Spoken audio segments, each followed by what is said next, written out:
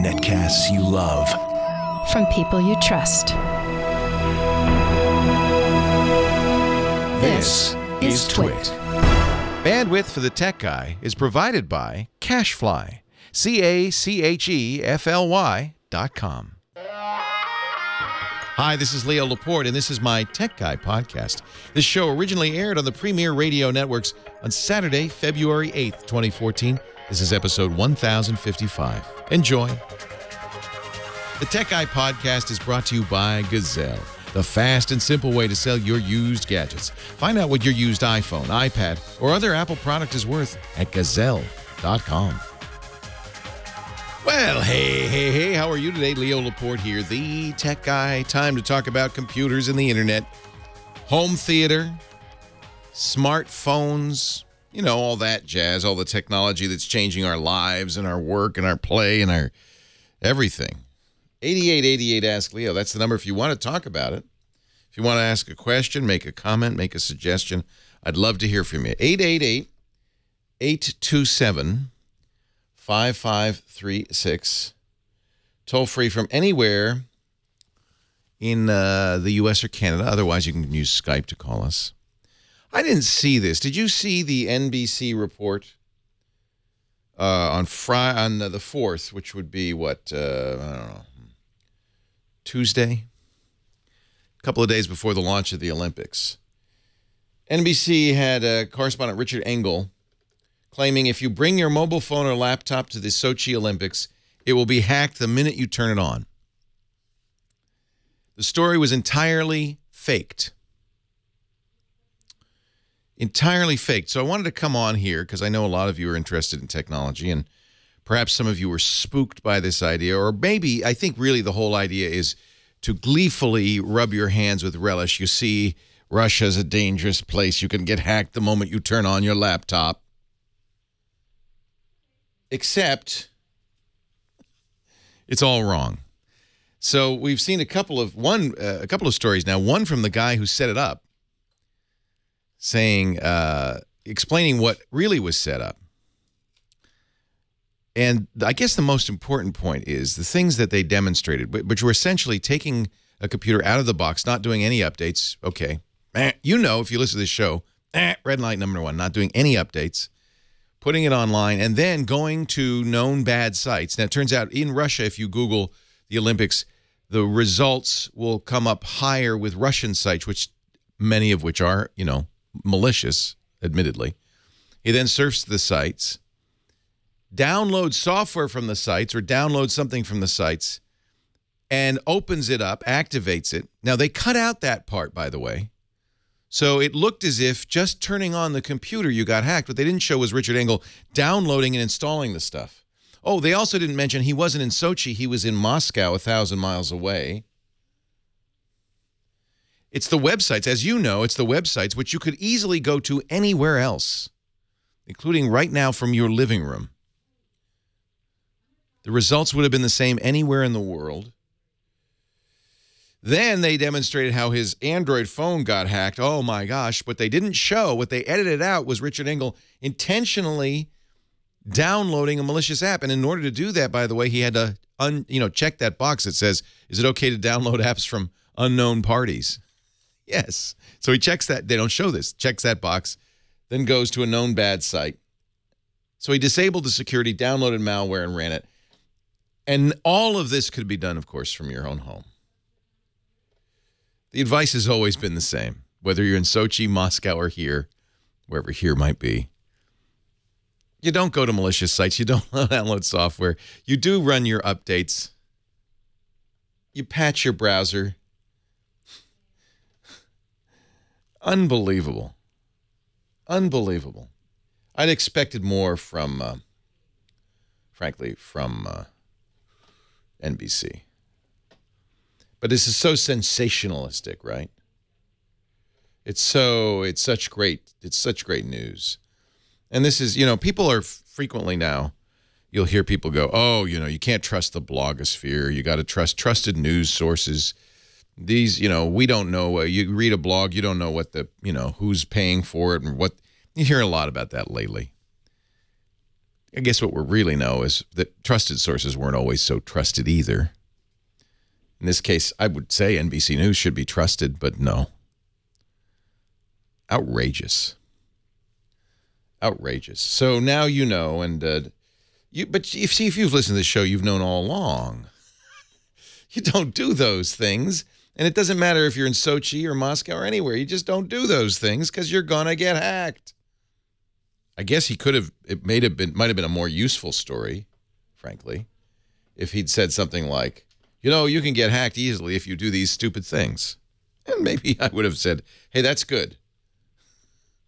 But they edited out all the uh, all the important stuff because then it's not the same story. What they wanted to imply was you turn a computer on in Sochi and you'll be hacked immediately, and it's not true. Not true. Truly amazing. Uh, let's see what else is uh, that one. That one just caught my eye. Did you see the dying tweets of China's moon rover? This was kind of sad, kind of like Wall-E. China's uh, Jade Rabbit, the first Chinese moon rover, landed on the moon. It apparently has had a technical malfunction, and they expect it to die in space. They can't retract the solar panels during the two-week lunar night, and they're afraid that it will it will basically the batteries will die. It'll just it'll just go away. But the, but the but the Jade Rabbit has its own Twitter account. Uh, and it's it's kind of beautiful. he says, although I should have this is this is the lunar rover supposedly. Although I should have gone to bed this morning, my masters discovered something abnormal with my mechanical control system. They're staying up all night working for a solution. I heard their eyes are looking more like my red rabbit eyes. Nevertheless, I'm aware I may not survive this lunar night. Oh. That's obviously not a tweet. It's a little too long for a tweet. It's just, I don't know what it is. I'll see if I can find what, what they were talking about. Then the next one is if this journey, maybe it's a blog post, if this journey must come to an end, I'm not afraid. Whether or not the repairs are successful, I believe even my malfunctions will provide my masters with valuable information and experience. Then he says, The sun is already set here. The temperature is falling very quickly. I've said a lot today, and I feel it's not enough. I'll tell everyone a secret. Actually, I'm not feeling especially sad. Just like any other hero, I've only encountered a little problem while on my own adventure. And then its last, presumably its last, since we won't know until the lunar week, week uh, night is over. It's its last tweet. Good night, planet Earth. Good night, humanity. Oh, little Wally. um, it's it's supposed to hibernate during the lunar night because there'll be no sunlight on it. Gets very very cold, but because it wasn't able to close the solar panels, it's vulnerable. And uh, China, this Chinese scientists are worried it may not make it back. Maybe you know, maybe those are tweets, and just because it's in Chinese, you know, 140 characters in Chinese, that could be a book. Maybe that's it. Anyway, very very sweet. This is a tradition that NASA started of the of the rovers and so forth tweeting as if they're alive. That's nice. That's nice. Uh, let's see. There's a new app out called Secret. This seems to be a popular app category all of a sudden. There was one before it called Whisper. In, in, in Secret, it's for iOS only. It's hard to find because if you search for Secret, it's like the 120th secret down. But but uh, that's probably appropriate because Secret allows your friends to post anonymously, post secrets. Ooh. But you can't just search for secret if you want to try this. You, if you search for, the best thing to do is search for uh, Secret Speak Freely on the App Store. It's iOS only. Secret Speak Freely. And uh, then you can post your secrets anonymously, except you know if it's somebody in your address book. So that's even more fun. You don't know who, but you know it's somebody in your address book. Le- Ooh, Leo Laporte, the tech guy. More calls right after this. Secret. Yeah, if you should mention that. It's not really secret. Oh, I was going to talk about Tim Cook with his. God, he knows how to get the press. He says, We're definitely launching new product categories this year, and the world goes crazy. But I heard on Secret, one of my, apparently somebody that I follow, uh, somebody in my contact list on Secret is working on this, whatever it is. And I thought it would be the watch, and it may be the watch. He said categories. It might be two products. One is a living room product. Hmm. Okay. And I saw the Flappy Bird tip. Beat Flappy Bird. Gary, I saw that one already. Somebody tweeted it to me.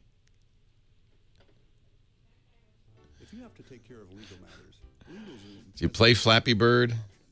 I should talk about this. your terms with total customer support backed by a Hey folks, this is a quick tutorial on how to cheat and beat the very popular Flappy Bird game. I've been playing it for about a week now, Watch and carefully. it has totally consumed my life. Is this Um, Marques Brownlee? The concept seems pretty simple at first. Uh, you just sort of tap the screen to keep the bird alive. played this game? Going through the obstacles without So touching addictive. anything. And uh, of course, I'm sure as you know, that is a lot easier said than done. Uh, but if I can do it, trust me, folks, you can do it. So I'll just jump right in here and pay attention to the technique that I use. It's really about the technique on beating this game. So I'll start off and just pay attention because uh, you can miss it.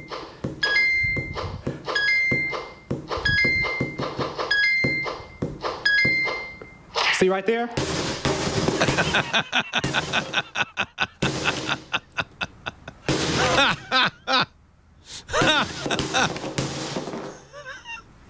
That's the way to beat Flappy Bird. Hit it some more. Gotta fucking.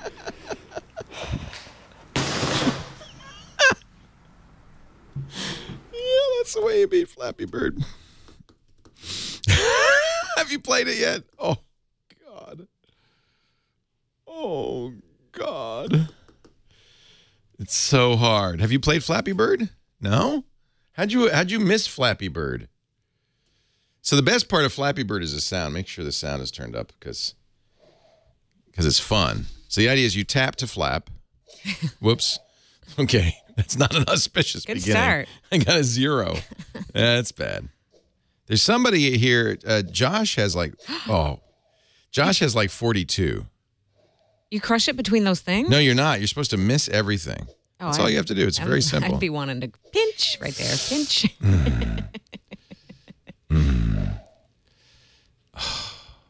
I don't want to share that score. Thank you. I should do that. I should share.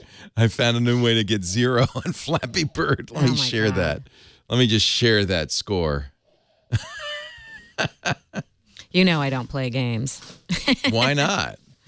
That's what life's all about is playing games. You have 69, Bert? 83? Whoa. Who's got the highest Flappy Bird in here? Anybody beat 83? Street Racer 84. Now, don't lie now. Tell the truth. 55? How long do you have to play?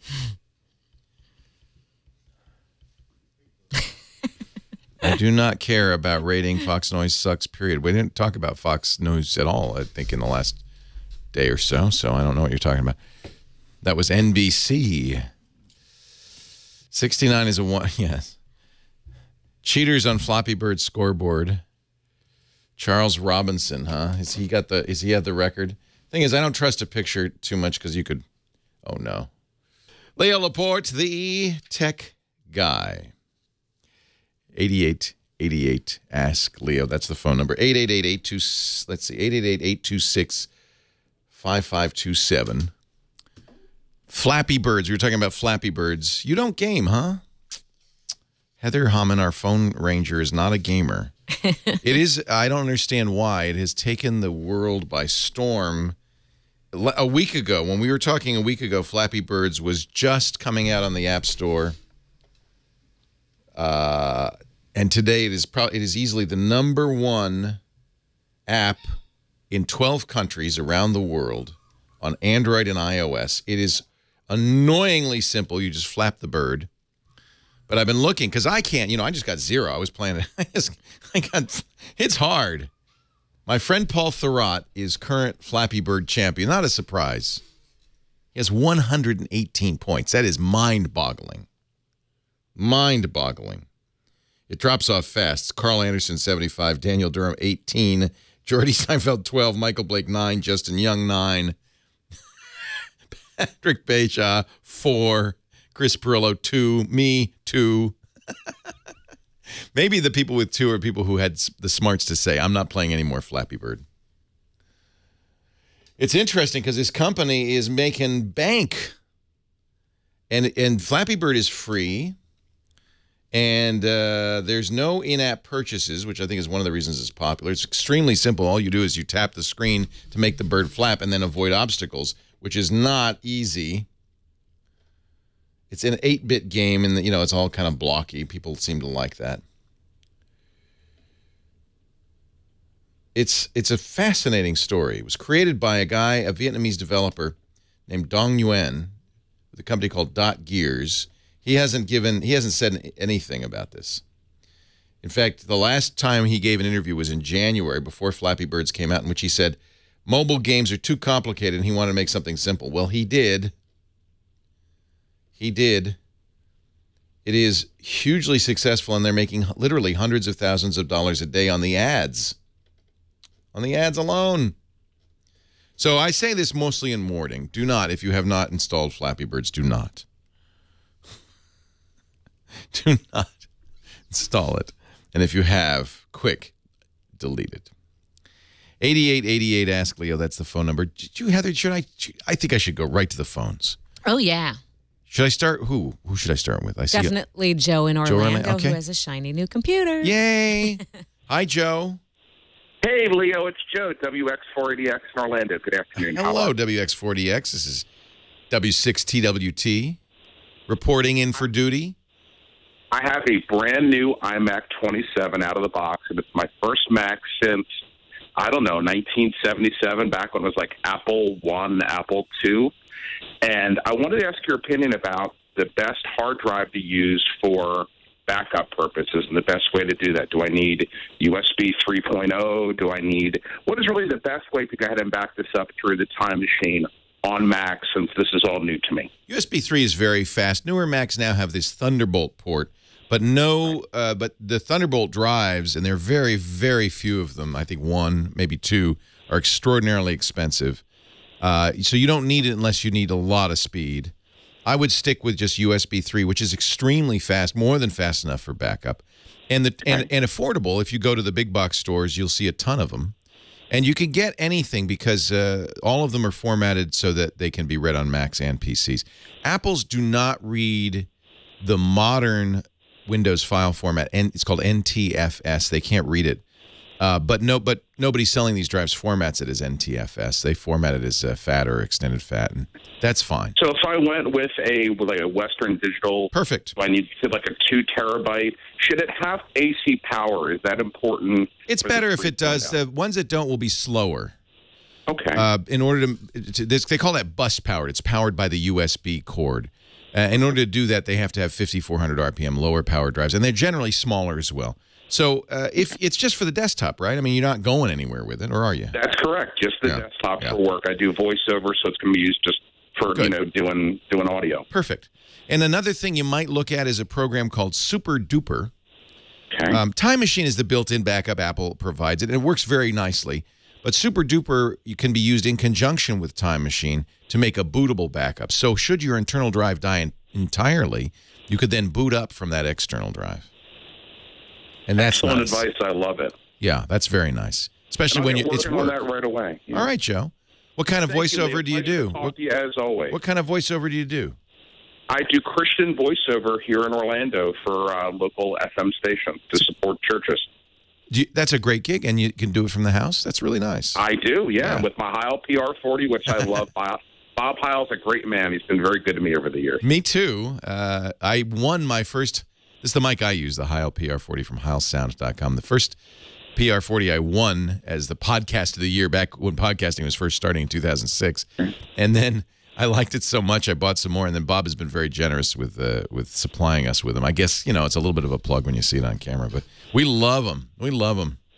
Hey, thanks, I Joe. you today we had our big ham fest here in Orlando, and I thought of you about my brand Oh. new Uniden trunk tracker scanner. I'm really big into radio scanning. I love public safety and aircraft. So today's ham fest day for the year, so it's always a great day. Have a great day, Joe. 7 3. Seven three. Take care. Yeah, Bob Heil is an interesting story. He was a sound guy. He actually started, he was an electronics guy in Missouri. And uh, I can't remember what the band was. Was it the Grateful Dead? One of the bands was in town having trouble with their equipment.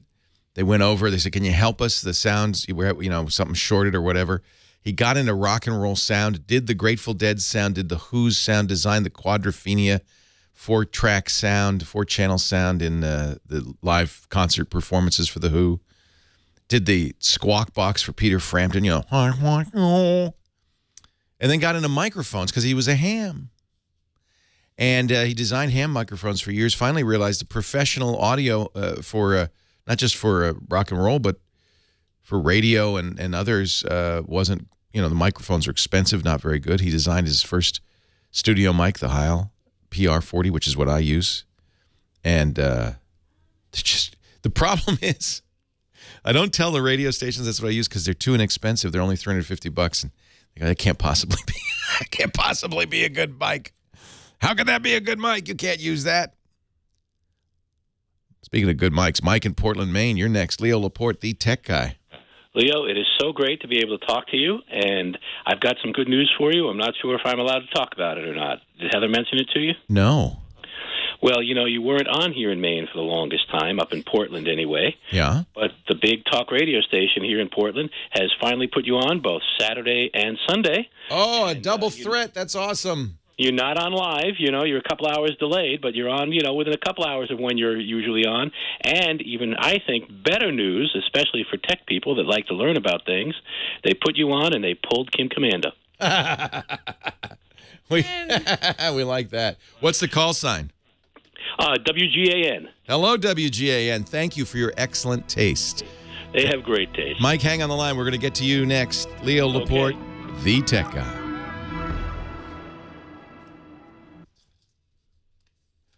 I bet you, I bet you, board ops all over the country are playing Flappy Bird. Right now, as we speak. Yeah.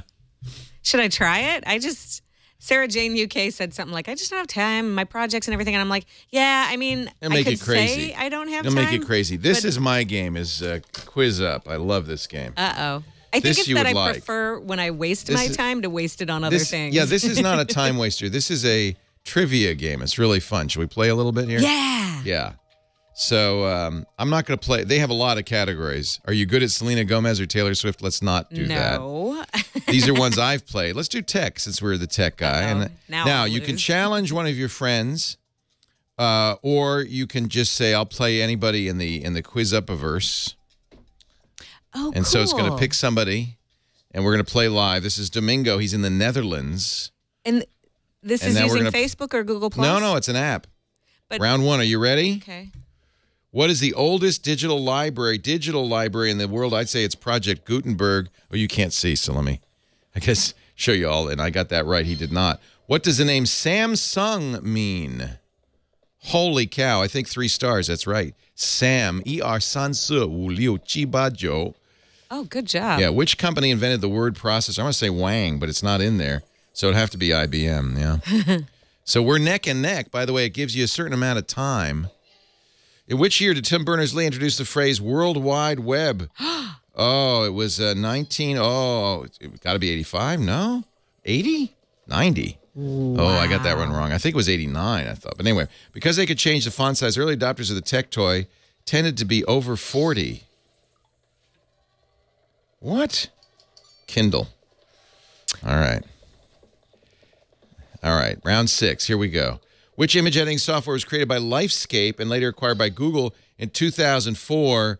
I think that has to be Photoscape. No, it's Picasa. Yikes. He's coming up strong. The last round's double points. Let's do it. What is YouTube's annual short film competition called? It's called, I don't know. You direct. You direct? That's what I would have guessed. Fortunately, he got it wrong. So I win by 10 points. That was a close one. Wow. Isn't that fun? Hi, What are Scott. Some other So categories? Domingo Leo. wants a You're- rematch. So let's You're have a rematch. too much fun here. Let's have a rematch. Domingo says, wait a minute. That wasn't fair. I got a lot wrong. I'm going to get it right this time. I'm going to get every one of them right. You ready? Round one. Scott, do me a favor and talk for me. Which for country uses its domain Test name as a major test source of two, income? test Test three. I'm Tuvalu. gonna It's call you right dot back. TV. Okay. So I got 20 points, which is the max you can get timer wise. See the clock up top. Which company created the game Angry Birds Rovio? Of course, and we got that one also in 20.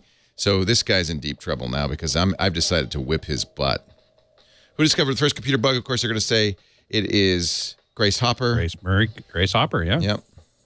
Took me up. I lost a point for taking too long on that one. Oh. Which company developed the web browser called Brum? That's Google. Okay, I got. I Uh, got. say I'm- something against Scott. Test one, two, Okay, three. that's fine. Okay. That's good. Which Are we company better? develops the Finacle, the Thank you. core banking software called Finacle? I'm gonna say Infosys. All right, so far so good. This guy's sorry he challenged me. He forget he doesn't realize he's running. the Of course, that would be Al Gore. He doesn't Yeah. realize he's playing the tech guy in the tech category. It really isn't fair. Last round, double, double. Emails you signed to get but read aren't spam, but known by what other meaty word? Bacon. All right.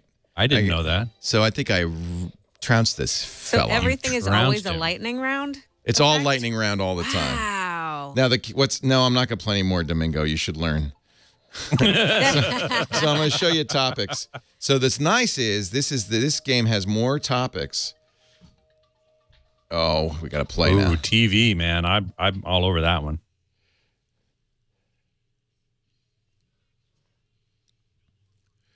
Thank you. Oh, I better open this one because it's weird. Leo Laporte, the tech guy. He's Scott Wilkinson, the home theater guy. Our home theater guru joins us each and every week to talk about big screen TV, surround sound, and the like. Hi, Scott. Hey, Leo, how's it going? Welcome. Thank you so much. Did you watch the opening ceremonies last night? Uh, I missed the uh, the cheese. I only saw the uh, ath- the athletes entering. Oh, I, How I was skip it? over that. I skip over Well, that. it goes on and on and on, but I but I Oh, yeah. you know I I missed Well, the you know- beginning. It was it wasn't that long, I guess.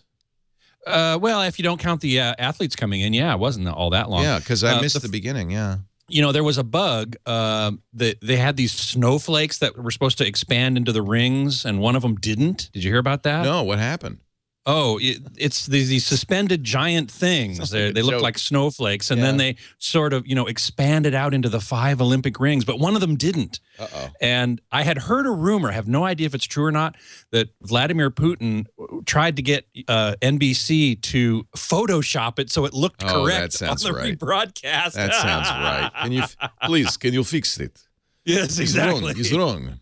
I was surprised to see Putin wearing a shirt actually in the in the podium there. There seemed to be a lot of pictures before the Olympics of him topless. I don't know why. Yeah, I don't know. He wants to be a He-Man, I guess. One of the coolest things about the opening ceremonies, though, was they had this gigantic projection system that projected. By the way, I now understand this has been a whole internet meme of four rings and a snowflake. Now I understand Yes. the meme. Yes. All right, go ahead. Four sorry. inner, four rings and a snowflake. yes. And and they didn't. NBC didn't do it. We saw it on the on the uh, rebroadcast at eight o'clock. I'll Pacific go back. Now, the night. good news, of course, it, it happened live in the morning, and this is the problem with the Yeah. Olympics, and especially Yeah. when they're on the other side of the world. For us in the U.S., we miss Right. the live stuff. But on demand, uh, I can watch everything. So I'll go back Exactly. and I'll watch the, the ring not not, Not open. Not open. Yeah. But the coolest thing I think was that on the uh, floor of the of the stadium, which by the way was built only for the opening ceremonies and the closing ceremonies. They built an entire stadium just for that. Um, but on the floor where all of the opening ceremony stuff happened, they had uh, uh, it was basically a gigantic projection screen, and they had 120 projectors suspended up on the ceiling someplace.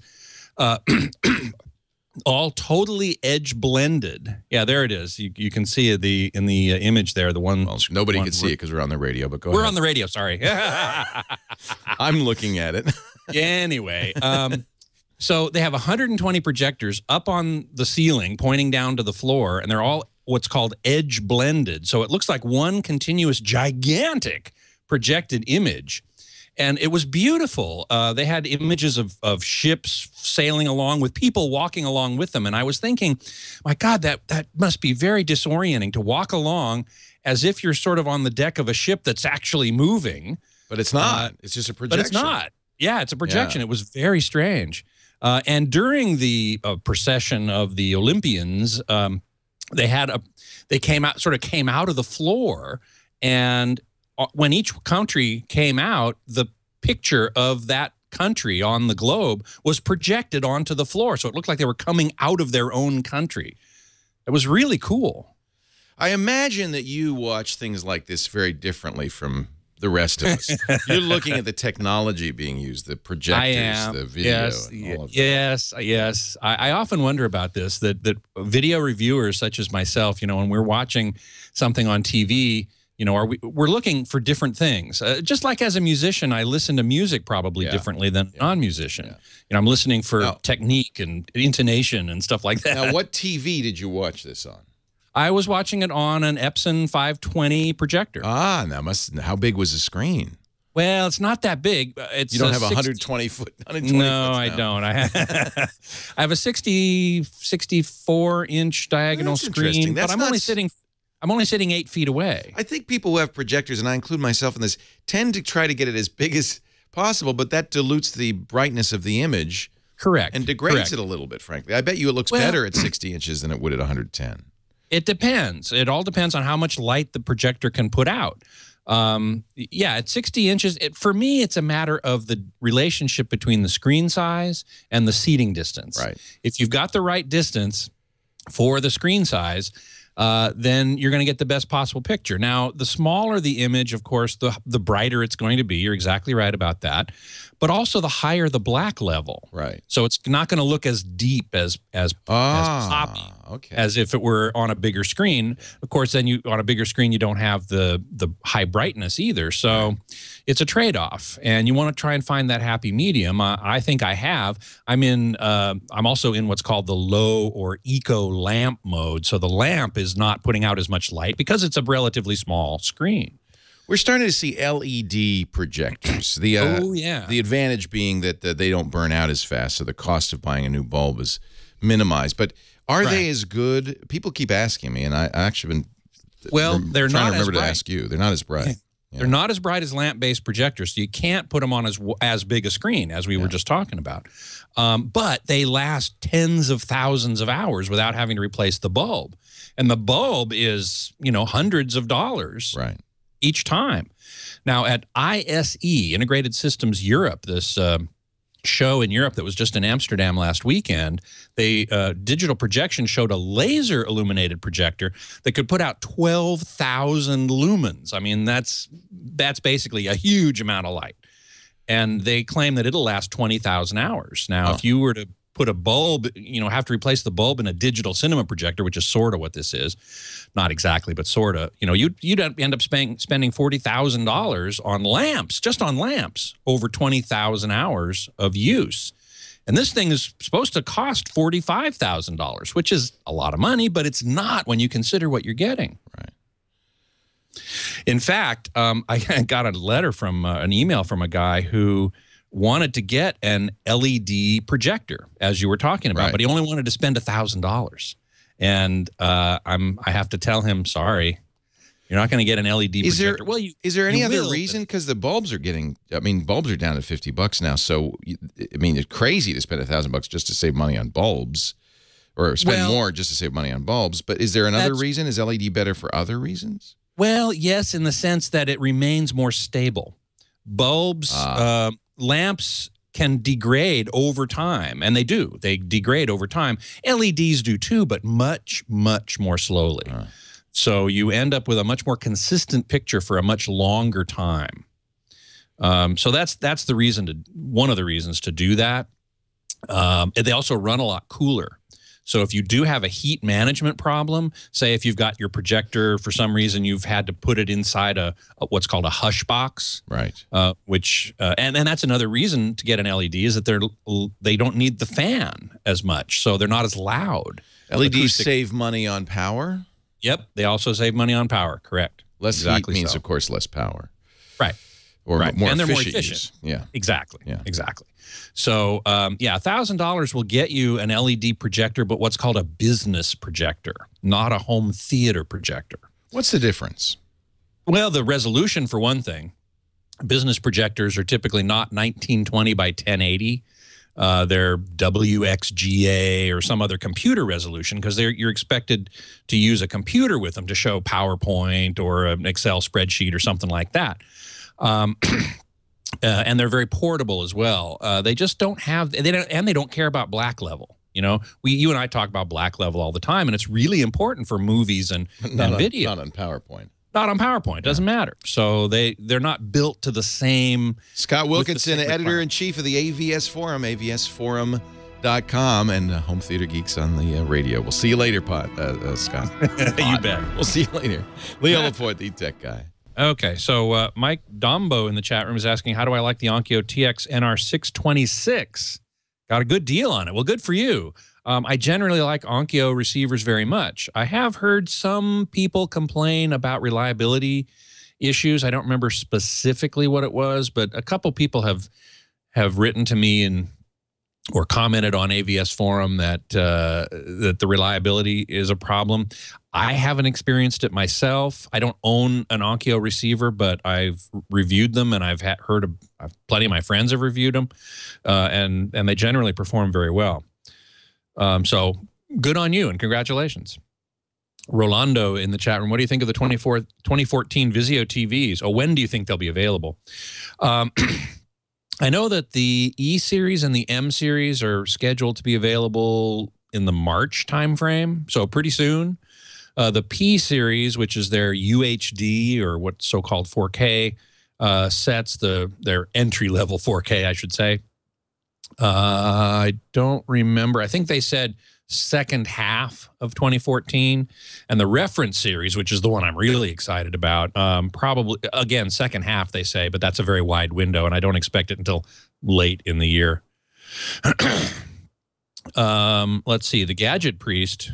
Uh, can you explain what DLP is? RE, the projector I asked about last time. Well, I don't remember the projector you asked about last time. Sorry. I please forgive me for that. But uh, DLP stands for digital light processing. Just wanted to make sure I wasn't jumping on the thing there. Um, stands for digital light processing, a technology developed by Texas Instruments, and it's quite amazing. Actually, it's a chip.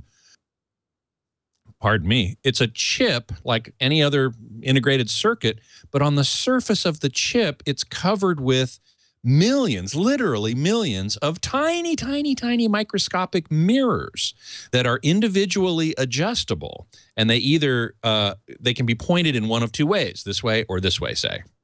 And when they're pointed one way, the light that's coming from the lamp or the lasers or the LEDs or whatever uh, is reflected towards the screen. When they're pointed the other way, they're not. Keep going. You got time. Okay.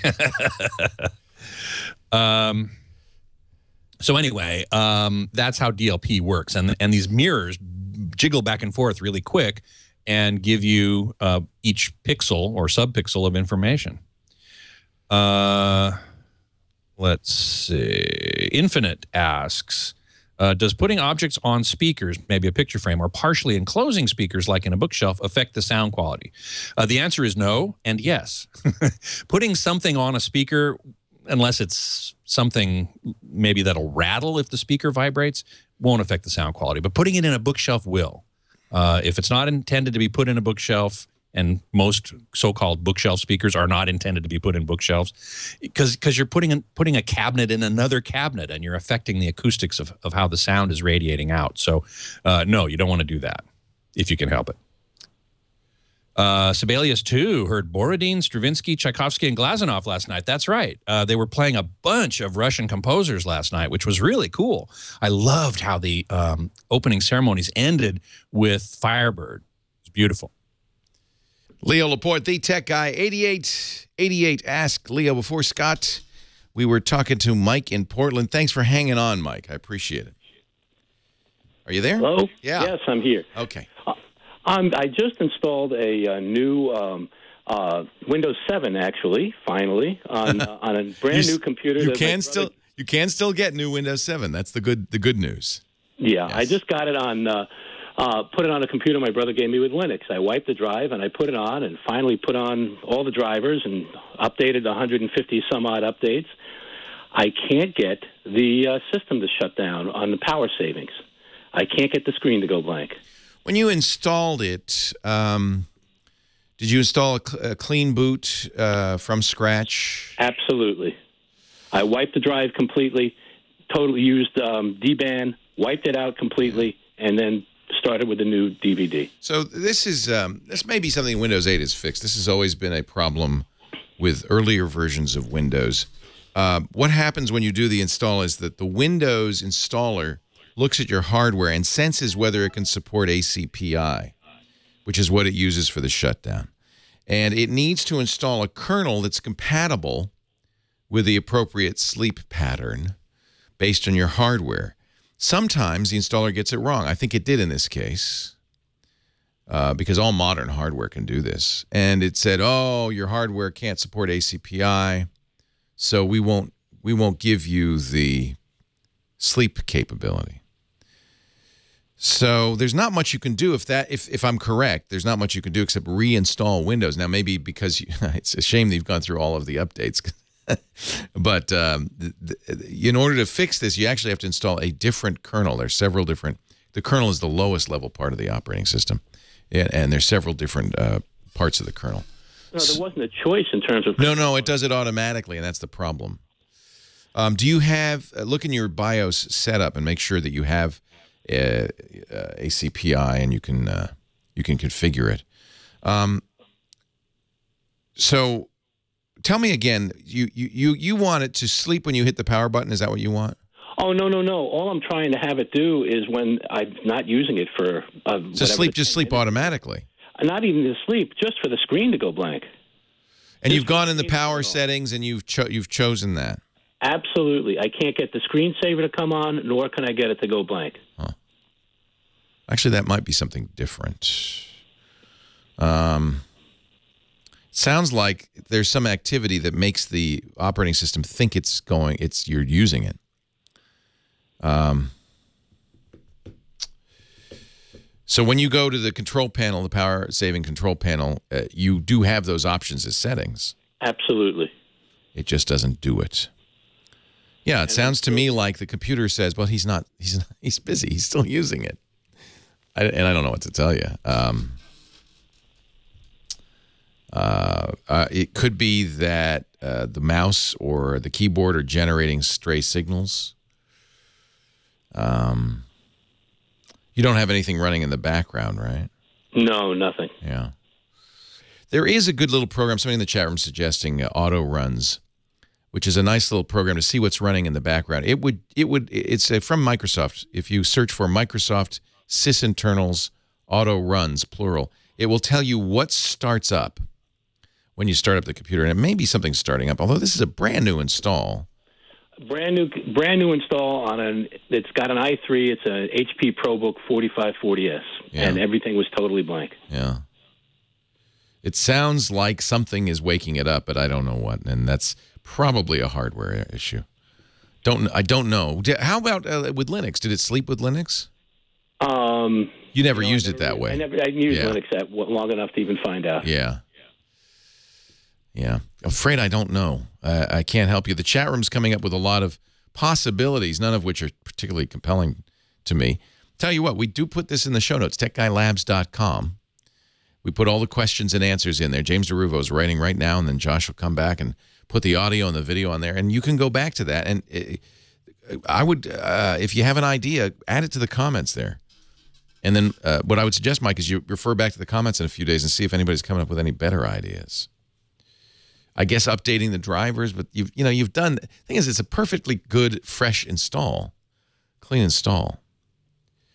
So it's uh, you might go into the BIOS and make sure things like Wake on LAN are turned off.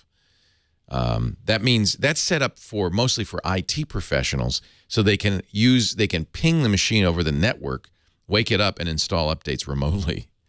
So Wake on LAN should be turned off. Um, I can't think anything else, but maybe the BIOS and go in the BIOS setup, make sure uh, that power savings uh, capabilities turned on, ACPI is turned on, things like that. It doesn't say this is this is if you can't shut the computer down or it doesn't hibernate properly, that's an ACPI issue, and that's a that's a mistaken in- install. Do I have a, a commercial here, Nathan, or should I? Oh, I do. You know, we were talking earlier about backup, and I didn't. I neglected to mention it's great to have that local backup right next to your uh, computer, but it's also extremely important to have off-site backup. Now, not everything needs to be backed up off-site. Your operating system and applications don't. But data that you don't want to lose, you know, financial records because you're doing your taxes, uh, emails you don't want to lose, pictures, wedding pictures, baby pictures, those should not only be backed up locally, and I think it's a great idea to back them up on an external hard drive right next to the computer, but also to the internet where you can get them no matter what. The worst happens, you still have a copy. It's peace of mind, and that's what Carbonite is so great for. Carbonite is off-site. You're backing up to the Carbonite cloud. It's automatic. You don't have to remember to do it. You don't have to think about it. It's continuous. It's running whenever you're online. Your stuff's always safe. You can check it by logging into your Carbonite account on any computer or using their free apps. You can even download files that way. And if the worst happens, you know you've got it. Best of all, this kind of protection is affordable. Flat rate. You pay once once a year for everything on your system. $59.99 a year for everything on a Mac or a PC. That's less than 5 bucks a month. And they have plans for external drives, for networks, for businesses. Check it out. Carbonite.com. Use my name, Leo. You can try it free for two weeks. No credit card needed if you decide to buy two months free with purchase. You got to back it up to get it back. Do it right with Carbonite. Joe, Austin, Texas. Leo Laporte, the tech guy. Hi, Joe. Hey, Leo. How are you doing? I'm well. How are you? Not not too bad. Uh, you know, just kind of staying inside, being warm because it's kind of cold out here. Yes, it is indeed. Yes, sir. Well, what I need to do, get your advice on, is I'm looking at buying a new Mac. Um, kind of leaning towards the you know laptop segment, either the 13-inch Air or the 13-inch Pro. Um, wanted to get your opinion on both. And uh, one of the other things I'm thinking of doing is getting an external drive to keep all my data on, like uh, you know iTunes So me- and videos and all that stuff, and uh, keep that separate from the internal drive, which will Always do that. contain Always yeah, do which that. will only contain the OS and the programs. Every all the data will be Yeah, I mean, eh, okay, so I, that's okay if you don't have a lot of space internally. Um, it's not a bad idea to have have the data both internally and externally if you have the space for it. But if you want to set, if you don't, so I do that what you just described because I have an SSD. SSD, those solid state drives are very fast but expensive. They tend to be smaller. If you get a Mac Pro, actually, or any of either of these, you may get a drive that's too small for all your data. In that case, an external drive. But in general, that's going to slow it down. And, it, and since you want it to be portable, it means you have to lug it around with you. So uh, I would do that more for backup than I would do for always. Okay. Difference between the Pro and the Air: Air's lighter, uh, thinner, does not have a Retina display. It has a lower resolution display that may or may not bother you. Uh, but much better battery life. The 13-inch Air has literally 12-hour battery life. It's mind-boggling. So Yeah, if it so, is. it's really designed about to be about portability, right? It's very thin, very light, very good battery life. I use my Air to you know travel. That's what I, that's my travel computer. But when I want the best quality, I'll use a Pro because of the resolution and the speed of the processors. Okay. That's the difference, and of course the price. Right, right. You know, I, I, I thought if I were to go with the Pro, uh, I'd probably do the mid, the one that's I think fourteen ninety nine. Yeah, it's not a bad price either, is it? No, no, it's, Yeah. it's not because I, I kind of figured uh, I don't have a huge uh, iTunes library because I have a Mac Mini right now, and that's got you know just the 500 gig hard drive, and I don't even have a quarter of that filled. So in general, especially on a portable, the idea of keeping all of your data external is a little. First of all, for you can keep your music that way if if you don't need to carry that around with you. That's fine. Um, Okay. So this comes with a 256 gig uh, SSD. Nice, fast. By the way, the drives are super fast on these um, SSD. Um, that's a lot of storage. I would only use the external drive for backup, or if you found that you just ran out of space. Okay. If you run out of space, but you know, my I have a very large music collection, and it's only 30 or 40 gigs. Uh, So, I mean, I'd look at your collection. If it's hundreds of gigs, maybe keep some of it external and keep some of it internal, that kind of thing. But for instance, if you put your entire home directory on an external drive, the machine won't boot unless the drive's plugged in. That makes it a little less portable. Leo Laporte, the tech guy. And now we return you to Scott Wilkinson, already in progress. Already in progress. Thank you so much. Um, so yeah, here I here I am here. Um, we've been talking about lava lava lamps, which I have one. Uh, it's right over there, uh, over there. there it is. Uh, and uh, apparently, J5JCH says uh, that uh, what are called rough duty incandescent bulbs can still be made, even though incandescent bulbs of, of low wattage, anyway, have been um, disappearing and even legislated uh, to disappear. Uh, but hmm, I'll have to check that out because I think the lamp in my, the light in my lava lamp is, is kind of. Um, kind of giving up the ghost a little bit there. Uh, let's see. Do you think flexible panels will be able to make that lava lamp shape? Oh, and display the lava lamp. Oh, you know, that's a good idea. Um, flexible OLEDs you just form into the shape of a lava lamp, and like the projectors at the opening ceremonies last night, um, it would look like a lava lamp, but it's actually on the surface. That's that's kind of cool. Uh, yes, Sarah Jane UK. This is a very bright T-shirt. In fact, it's kind of blowing out my camera. I probably shouldn't wear it anymore. Sorry about that. Um, James uh, VA3 JPX. Uh, yes, I am using key lighting. Um, I have two fluorescent uh, bulbs in big reflectors that are uh, that are pointed right at me um, because I want to make sure that it looks reasonable. Yes, kilobyte, binary clock. You've got that much correct. Um, at least one of them. There are two clocks over here, over here. Here they are. Um, there are two of them. And one of them is, in fact, a binary clock. In fact, it's binary coded decimal, so BCD. Um,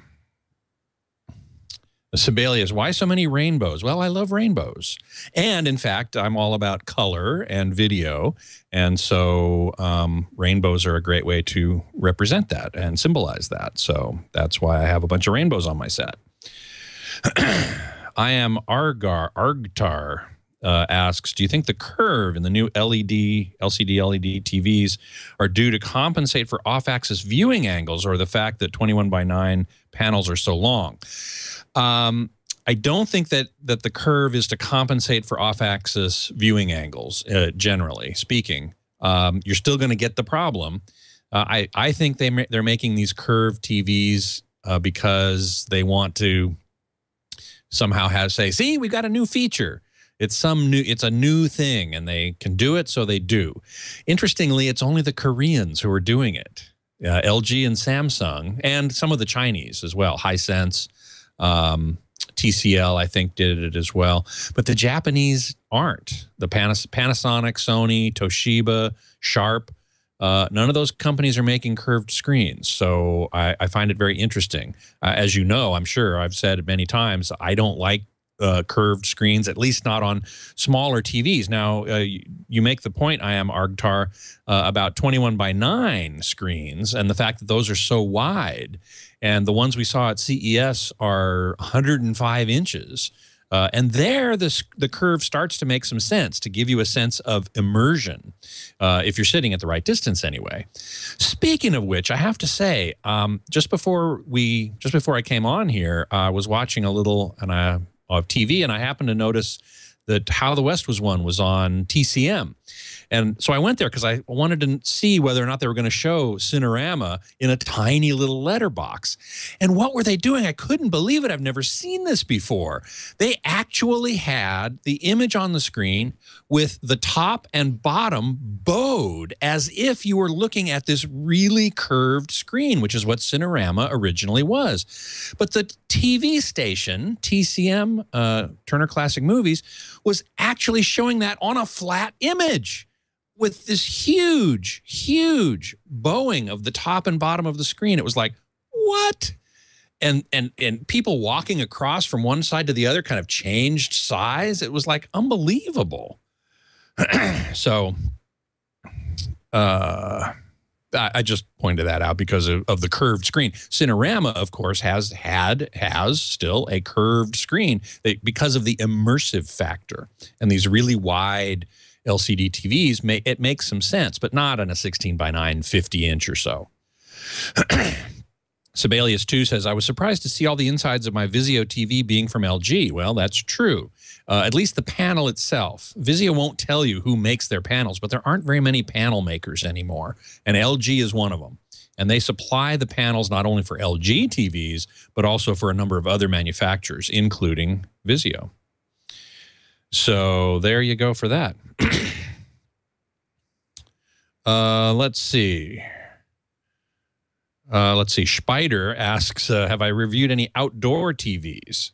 I haven't, um, but they're very popular amongst the wealthy to put a an, an outdoor TV on their patio or whatever.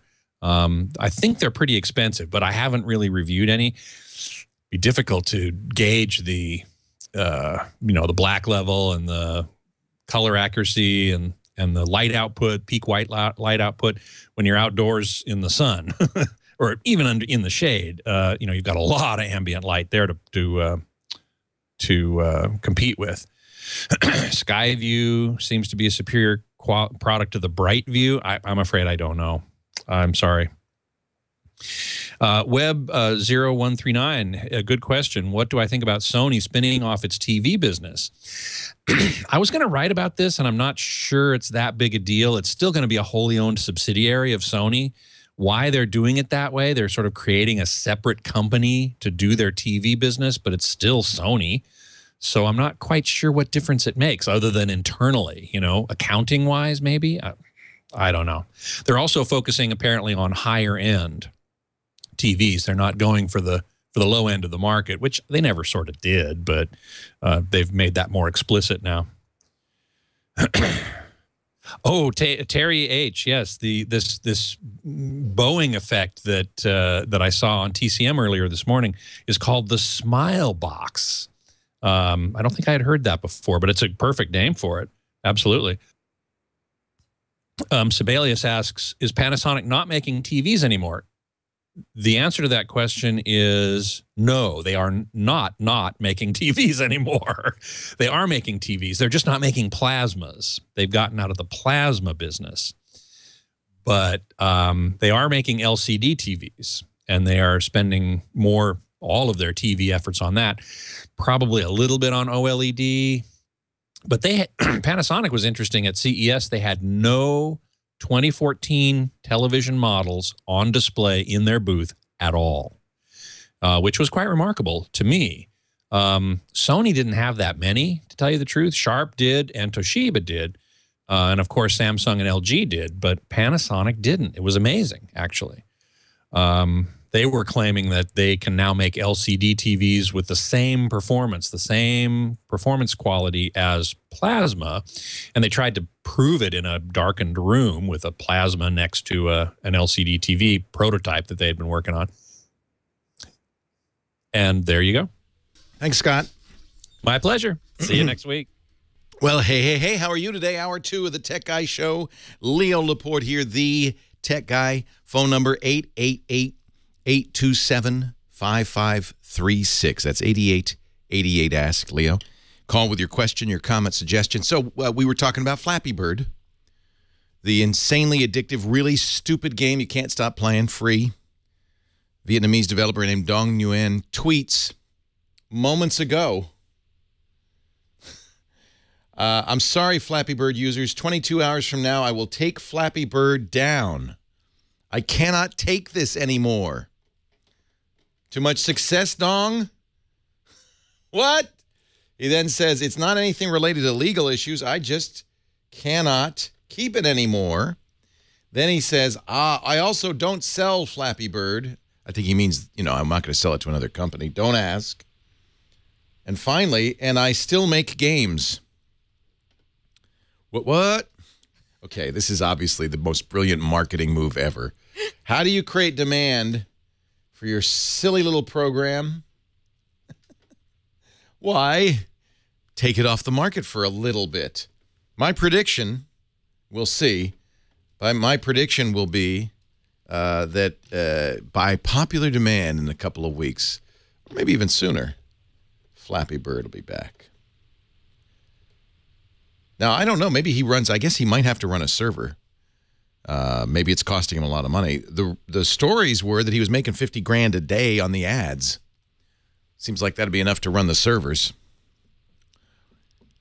Or maybe he brings it back and charges a buck. Who knows?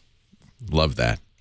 Now, uh, I asked you last week, uh, Heather, and everybody listening, to try out the new Facebook app, Paper. It came out on Monday, and uh, we've been downloading. We've all downloaded it and tried it. It's iOS only. In fact, I, I suspect after looking at it, it'll be iOS for some time uh, because it uses a lot of the features in Apple's operating system. So, uh, you know, iPhone only. i I'm running on an iPad, but it looks fine. So, Heather, you've been playing with uh, Paper a little bit. You, you do you like it? Yeah, I like it a lot. It's so clean and pretty, and the movement, and uh, it just kills Facebook. I never want to look at Facebook again. Well, and the interesting thing is, uh, you know, they build it as a news reading program, but really it does replace Facebook pretty effectively. So the first panel is your Facebook feed, and all your Facebook friends scroll by, and you can read all the same things you'd read on your news feed. If you pull it down, you have all the same settings that you would have in a Facebook app. Create a post, you know, settings like the code generator. But you can also add sections, and that's where it's kind of interesting because they have sections in a variety of categories, and most of these link to mainstream media. So news outlets like CNN and the New York Times, uh, tech outlets like The Verge and Engadget, cooking, sports, that kind of thing. So you can add all of these categories to your feed. Um, I I think this is really uh, really quite interesting. it's the Facebook killer. It is fa- Facebook is killing itself, and now I have to say we're saying that kind of facetiously, but the truth is, any company that's going to succeed has to kill its existing products, its successful products, in order to succeed. I think uh, that you have to cannibalize your existing stuff. So I think it, they've done a really nice job here. What what happens is you get all of your, you know, mo- I, as far as I can tell, all of your Facebook, but then you also have, if you go to your other categories, in the same beautiful format, you know, whatever else you're interested in, news headlines, tech, sports, cooking. It's better looking, and it makes it so much easier to fly past the boring stuff. Right. Well, and they also hope that you will do like say I'm looking at the cooking stuff and I say, "Oh, that's really cool." You you can now like it because it's it's become a Facebook article even if you're not following this brand. You can share it to your Facebook feed. So their hope I think is that by using this users will put more real content. This is what Facebook says they want to do. Put more newsy content in the feed and less of your friends. I thought that was kind of a suspect plan. But that's before I saw paper. Yeah. So you like it. Love it. Facebook has a very checkered record with its apps. Remember the Facebook Home app, which was turned turned your Android phone into a Facebook phone. It was a huge flop. Uh, When Snapchat took off, Mark Zuckerberg personally wrote an app called Poke that did the same thing. Anybody use it? No. Facebook Messenger, a standalone app. It, it- functionality is already in the Facebook app. And Facebook itself start. Isn't this weird? It's 10 years old this week, by the way. Mark Zuckerberg turned 30. Facebook turned 10. And it feels old fashioned, doesn't it? Yeah. If you go to facebook.com and look at your feed there, it's very, it feels like it's an old school website, not modern. Yeah, yeah, yeah. So I think that this was a really smart move from Facebook. This, if you want to try it, it's called uh, Paper. I'd search for the Apple search store. Boy, you know, it's, it's so hard to find anything on the Apple store on the apps. What about search movie? for, huh? Did you like your Facebook movie? oh, you know, that's another one. No, it was terrible. Did you like yours? I never watched it. Are you kidding? I loved it. Or well, whatever, you know. Google did the same thing when Google Plus. It, it did a, a look back at your year, which was fabulous. Facebook's movie, and you can see it if you go to facebook.com slash look back. Is that what it is? I think it was. Um, you can see your look back. It covers your entire Facebook life. So it's it's everything. Um, and I think it's kind of kind of dumb, frankly. That Um, tinkling piano thing's very dated to me yeah, too. Yeah. But Oh. they added something today. Edit. you can now edit the movie, which is something you couldn't do with a Google movie, to add images that you think are more important than the images they took, which was probably a good idea. Oh yeah. See, Get I think face- that boyfriend. Get rid Yeah, of and that that's boyfriend. yeah, right. So you, really don't want to see that. How many years have you been on Facebook? Oh, um, gal, that's it. Seven. Yeah, mine mine because I quit Facebook says I joined in 2010. I quit Facebook. So I did join in 20, 2007, I think, when it first went public. But then I killed everything. And so I started up. So I'm I'm only got 3 years on here. It's stupid. But I but having said all that, I think the future is bright for Facebook. And no wonder their stock has been going up lately. Two things. One, they said we make now make more money in mobile than we do on desktop. That's very important. And then they launched this brilliant mobile app that is frankly the best Facebook experience anywhere. Suddenly they're, you know, I was you may remember 3 weeks ago I said it's over for Facebook, they're dead. they're his boy was I wrong. I take it all back. Completely reinvented themselves. Now if they just add Flappy Bird, I'd be no, just kidding. Randy in Seattle, Leo Laporte, the tech guy. Hi, Randy. Hey, Leo, how's it going? It's great. How are you? I'm all right. I'm calling to talk about the Olympics. Okay. Where do I start? there's a tie-in. When your grandparents wanted to learn about real live events, they would sit around their Philco, GE, or Ball Punk Tube radio Right. and hear what's going on. Right. Now, if they wanted uh, video clips of said event, two or three weeks later, they can go down to their Saturday matinee. Prior to the main feature, they'd be uh, sitting around watching a 15 minute newsreel or so. What, what Yeah, remember those? on. Yeah, those are great. Yeah. Now, By the way, they're all archived online now, those old classic newsreels. You can go back and look at the entire collection of them, which is amazing. I think it's it's the technology. Yeah. But um, you know, in today's uh, world of communication technology, we have access to audio, video anywhere around the world as it's happening. Not to mention in space, the International Space Station, and even in, at Mars, we see pictures and all. Right. We, as a free nation, we, I believe, we invented the television and launched the first communication satellite. Actually, the Russians think they invented the TV, but we won't get in that battle. Seriously. That's true. We will not get in that battle. Uh, The Oli- I'm sorry. go ahead. The Olymp- the Olympics. You're on a roll. I don't want to interrupt. Yeah, yeah. I, I'm on a little rant here. The Olympics is open to competitive athletes around the world. Okay, hold on. Unfortunately, I got to take a break, but you, I'm going to put you on hold because I want it. So hold that thought. To be continued. Leo Laporte, the tech guy. Leo Laporte, the tech guy. I interrupted. Uh, oh, now I've. wh- Who was it? I forgot. Randy in Seattle. I interrupted Randy in Seattle's uh, rant about the Olympics. Soldier on, Randy. Go ahead. Part two. Hey, Leo. I'm almost done, but it does tie together. Promise. I promise. So I started to say is that the Olympics are open to competitive athletes from around the world and the citizens of those countries. Yes. There's no there's no company, there's no entity that should own the Olympics. Oh, now there's where you're going to get in trouble. Every other I agree with you. I agree Yeah. with you. Every other free country, if I understand, does have access to real time access to the Olympics. On the internet, that's right. Here on the West Coast, we were able to watch the broadcast of the opening ceremony some 12 hours after they happened That's during right. prime time. 12, 12 hours, that's right. Otherwise, you would have had to watch it at 8 in the morning. Correct. Yep. Why, in this day and time, do we still allow the networks to have a lock on the access to the broadcast of Olympic events? I agree. I We- agree. It- this was a real problem two years ago, you remember, in uh, Beijing, uh, because uh, it was Yes. exactly the other side of the world. And, uh, you know, you couldn't, you would not be able to see stuff live. Well, here's the reason. I'll tell you the reason. NBC spent a lot of money, and the Olympics Committee said, okay, you give us all that money, you can have exclusive control of it. You can go watch it at NBCOlympics.com, but of course, you have to verify that you have uh, a cable subscription. You know, it'll ask you when you when you say, "Oh, I, want to I want to watch this online." It'll say, well, "Okay, well, who's your cable company? You want a temporary viewing pass? Here's 30 minutes you can watch, plus ads, by the way."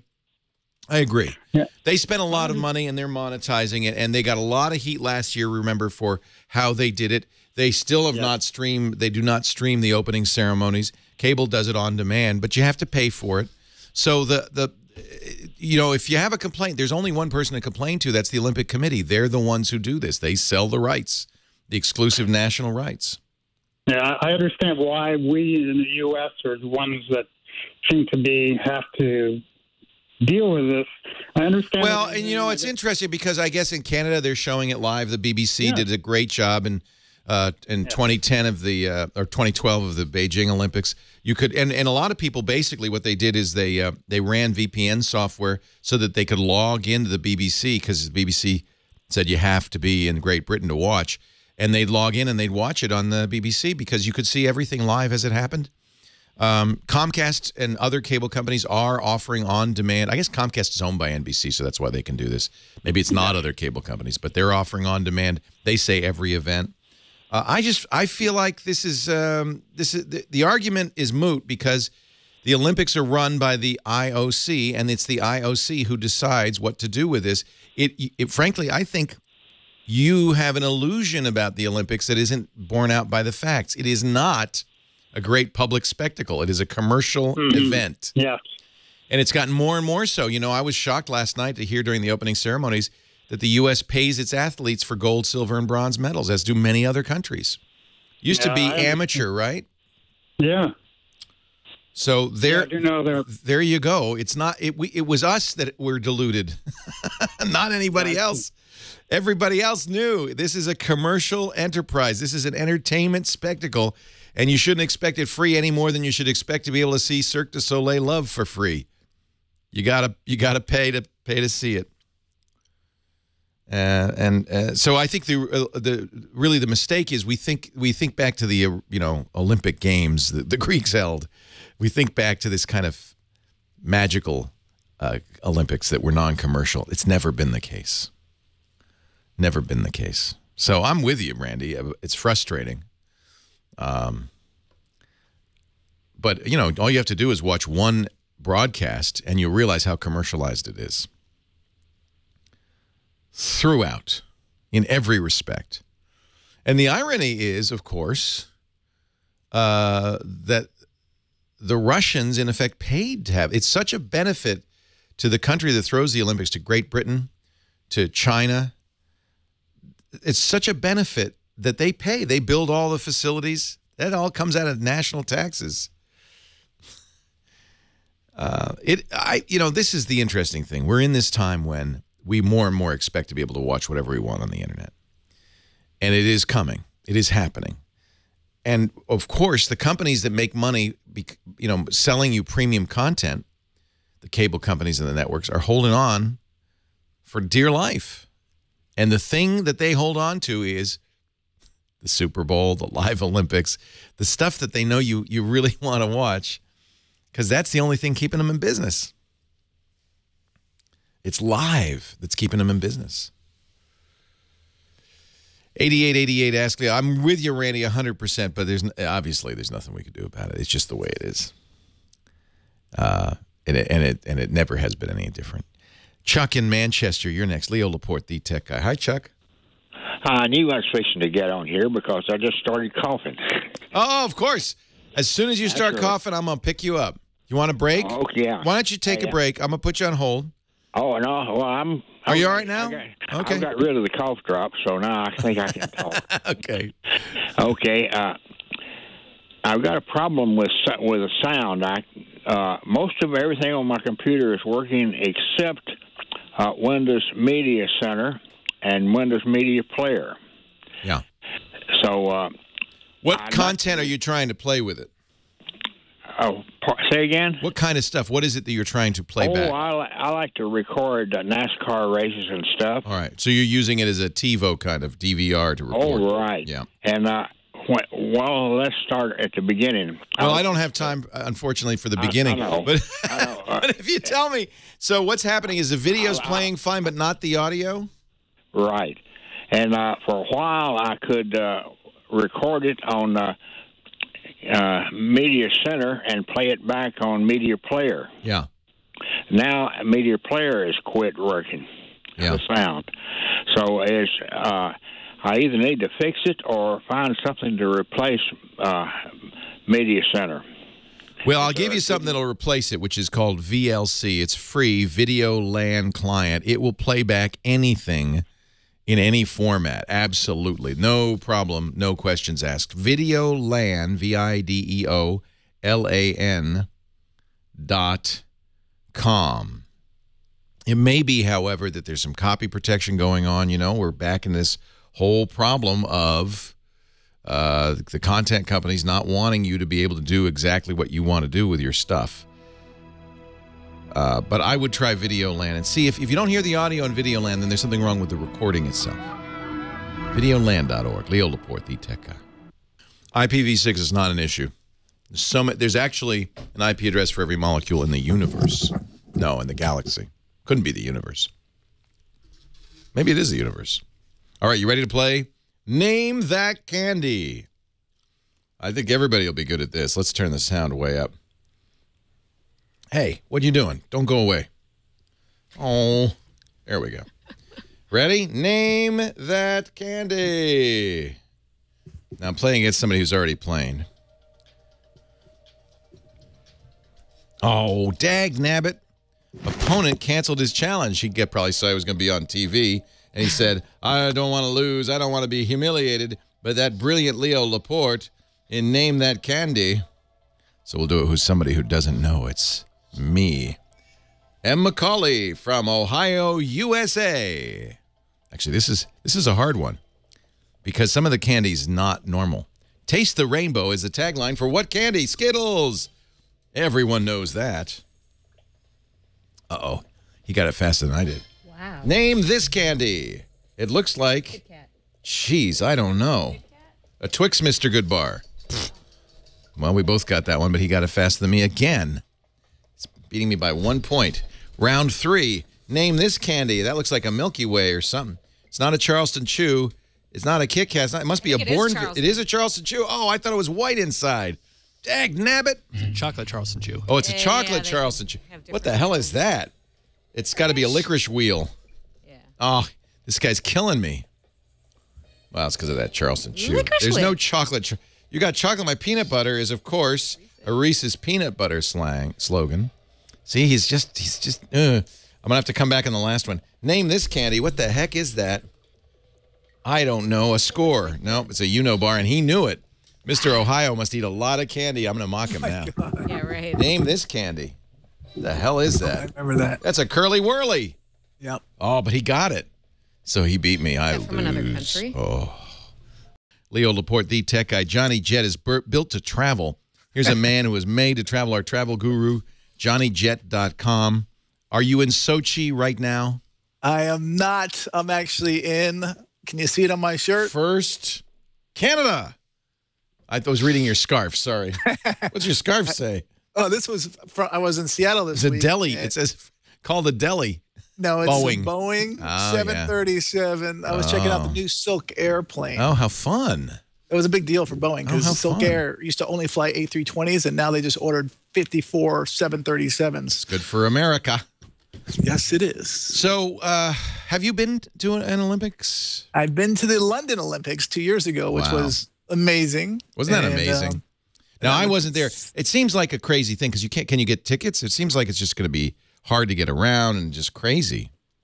uh, you can buy tickets. Yeah. Es- Especially this one going on right now. I heard that you know even last night in the opening ceremonies there were empty seats. Oh, you've seen the Twitter account Sochi Problems, where where journalists and others are tweeting about how messed up, like the hotels weren't ready, The water. the water, the no- doorknobs fall off. Uh, there are no stalls in the toilets, just toilets sitting out in an empty room. know. I saw that. And then, that and then, of course, a press conference uh, by uh, Putin's number two in command, who says, "No, no, you know, people are sabotaging us. We have Yes. cameras in rooms. We've seen people turn on showers and leave them on all day. Wait a minute." go go back to that. We have cameras in rooms. Then they dragged him off. By the way." They said, uh, nah, dude, we're going to take a tour of the media center. I'm sure I'd be jail. We have we have cameras showing you turn on shower. Are you saying these cameras in my hotel room He says we have cameras in all the rooms. Are watching me take a shower? Are you saying that? You have a good accent. Unbelievable. Unbelievable. Russian accent. He's the same guy who was responsible for ring not opening. He's now in Gulag. You can now buy a T-shirt with that. the way. All right, so I shouldn't I shouldn't mock the problems in Sochi, um, but I would like to know. So, are you going to go to the World Cup in Brazil? I hope so. I hope to. That one's a tough ticket because it's all over the country. It's not just in Rio or San Paulo. It's all over Brazil. I mean, it's fun to go to these destinations, but you really don't want to go when there's a big event going on because, first of all, everything's going to cost you double, triple, quadruple, whatever. It's going to be tough to get reservations at all the best restaurants or even go to these restaurants. And it's just so crowded, and you have to really worry about, you know, getting mugged or robbed, not mugged, but robbed. And um, I just think it's always better, especially cheaper, to go to these destinations when you know something is going Well- like right after, right after it. I'll give you know what New Orleans. Don't go during Mardi Gras. Are you nuts? I've been once, and that was crazy. Yeah, go during you know when to go is during the Jazz Fest. That there's it's it's there's still exciting and fun, but not so crazy. Um, I think you're right. You don't go to Venice during uh, Carnival, Rio and Carnival. That'd be crazy. You go a week later. A week It'll be later. much cheaper Yeah. and a better experience. I'll be happy to have you there. No, go And a week earlier because you know what's depressing. I, it is depressing, but if you go a week earlier, they're still setting up. And Uh, yeah, I don't know which is there's still a lot worse. It's bad if you go and you see all the old the stands and all the trash, and you go, "Oh, I missed Mardi Gras." That's It all depends what you're looking for. If you're looking to save money, go after. Yeah, and if you're looking for fun and crazy, and you don't mind, you know, an inability to travel around and stuff, Then then go it. during. Yeah. For sure. For Yeah. sure. Actually, speaking of South America, I just saw an email just came in right now. 298 round trip from LA to Lima, Peru on Oh. Avianca. That's insane. It must be like a four dollar Wow. fare. Everything else must be taxes. If you go to Lima, then you can hop the train uh, to down the Urubamba to uh, Machu Picchu. is the most amazing thing I've ever seen. Go to Cusco. Yep. Oh my goodness, that's well worth it. A World Heritage Site. For sure. Yeah, and the food And in I- Lima is great. Yes, it is. They they they they say the don't guinea eat. pig. The guinea pig. Yeah, yeah. They say don't eat Peruvian food, eat Chilean food. The best Chilean food is in Lima. I don't know if that's true. That's, that's a good tip. but speaking of some cool technology, and we're talking about airlines, uh, British Airways. I just sent you the email, and actually, I just tweeted it out. Have you seen this uh, YouTube video? It's 30 seconds, but they have this billboard in London. They have two of them, and they actually been up for a month or two. But it's a of a baby or a kid walking by, and all of a sudden, when a plane really flies by in real time, it points up to the plane and it says what flight it is. What? Yes. How does this happen? I don't know. That's what I was going to ask you. Well, but now I'd be impressed if the baby did it Every time every B- plane, every- but maybe every, that every BA flight that goes by, they do it, and it tells you what BA What? flight, No. the number. no. Yes. Okay, as the plane goes, oh, I get it. It's a, a billboard, and then the kid stands up. He points, he points to the jet, and then he says, it "Look, tells it's flight BA 475 from Barcelona." That's cool technology. That that is amazing. That's really a great billboard. So I get it. It's not. This is not an actual kid. The whole thing is done Oh yeah, that that's the, kid is just uh, programmatically. I thought there was actually a genius child in a crib who was looking. But no, no. This is a. This is a. This is a ad agency's doing this.